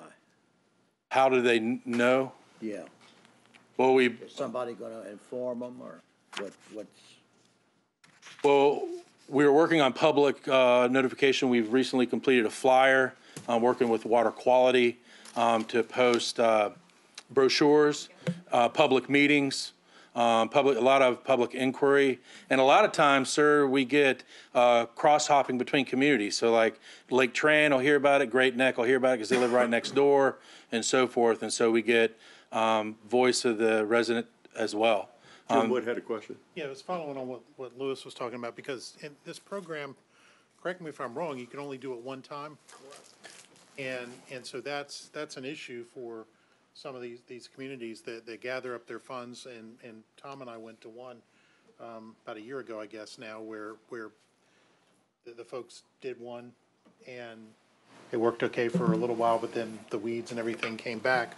And that, that's kind of what I was talking about at the retreat, talking about the, um, a, a potential of using the SSD model so, so that neighborhoods can, can actually maintain their own lakes, whether or not it's just, it's just strictly the treating, or if, if they want to dredge it for aesthetic purposes as opposed to stormwater purposes, because those two things conflict, you know, the, from the city's perspective, we just wanted to, to take the water, the, the, the homeowners want, want to be able to, to boat and fish on the lake, so I, I, I just like us to, I don't know who's working on that, but, Mr. Manager, I'd like us to, to, to maybe, maybe look at that now, because when you're, you're at a ninety-year cycle, that, that's, that's not, not the best. I realize it's much better than it was, but it's still, it's still not good. Okay. Yes, sir. Let's go ahead. Yes, sir. The first above target request would provide a program for canal dredging, shoreline stabilization, and related maintenance of canals. Over the years, the canal systems in our neighborhoods, bless you, the neighborhoods have silted in overall. This is not a flooding issue, but has become an area of concern within the neighborhoods, generating many complaints. This program would clean approximately 47 miles of canals in a 25-year cycle.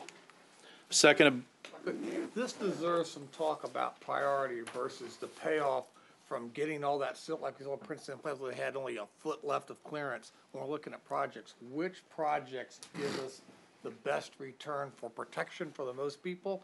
Is it a new capital project or a lot of canal dredging? I hope during the budget process, we can talk about those trades. Yes, sir. The, Absolutely. yes, sir. Second above target, uh, second above target request uh, is the second new CIP suggested by operations. This would provide a one-time funding for FY nineteen to make essential repairs to the forty-eight inch outfall pipes that discharge from the stormwater pump station at Forty-second Street. This pump station is currently in a modified operating condition, and the south middle pipe can only be operated during significant weather events and routine maintenance. Detailed inspection of the south middle pipe is scheduled for March 2018. The last above target request, Pinewood Road Stormwater Drainage Improvements, um, is a one-time one million for FY nineteen, is the third new CIP suggested by operations. This would, provide, uh, essential repairs to the roadway and culvert under Pinewood Road near Little Neck Creek. Multiple cave-ins have occurred at this section of Pinewood Road. Field investigation and analysis was conducted in twenty-eight July two thousand seventeen and recommended replacement of the culvert. In closing, um, in the simplest of terms, we've solved most of the easy stormwater problems and are now trying to address the more complex and expensive issues. Uh, the new water quality regulations are demanding, um, are more demanding, and our existing infrastructure is aging. Um, all these issues are increasing the operating and management requirements and demands. Thank you very much for your presentation. Yes, sir. And we appreciate it. Any other things to go on here, folks? Yes, Thanks for yes, your attendance. We'll see you all later.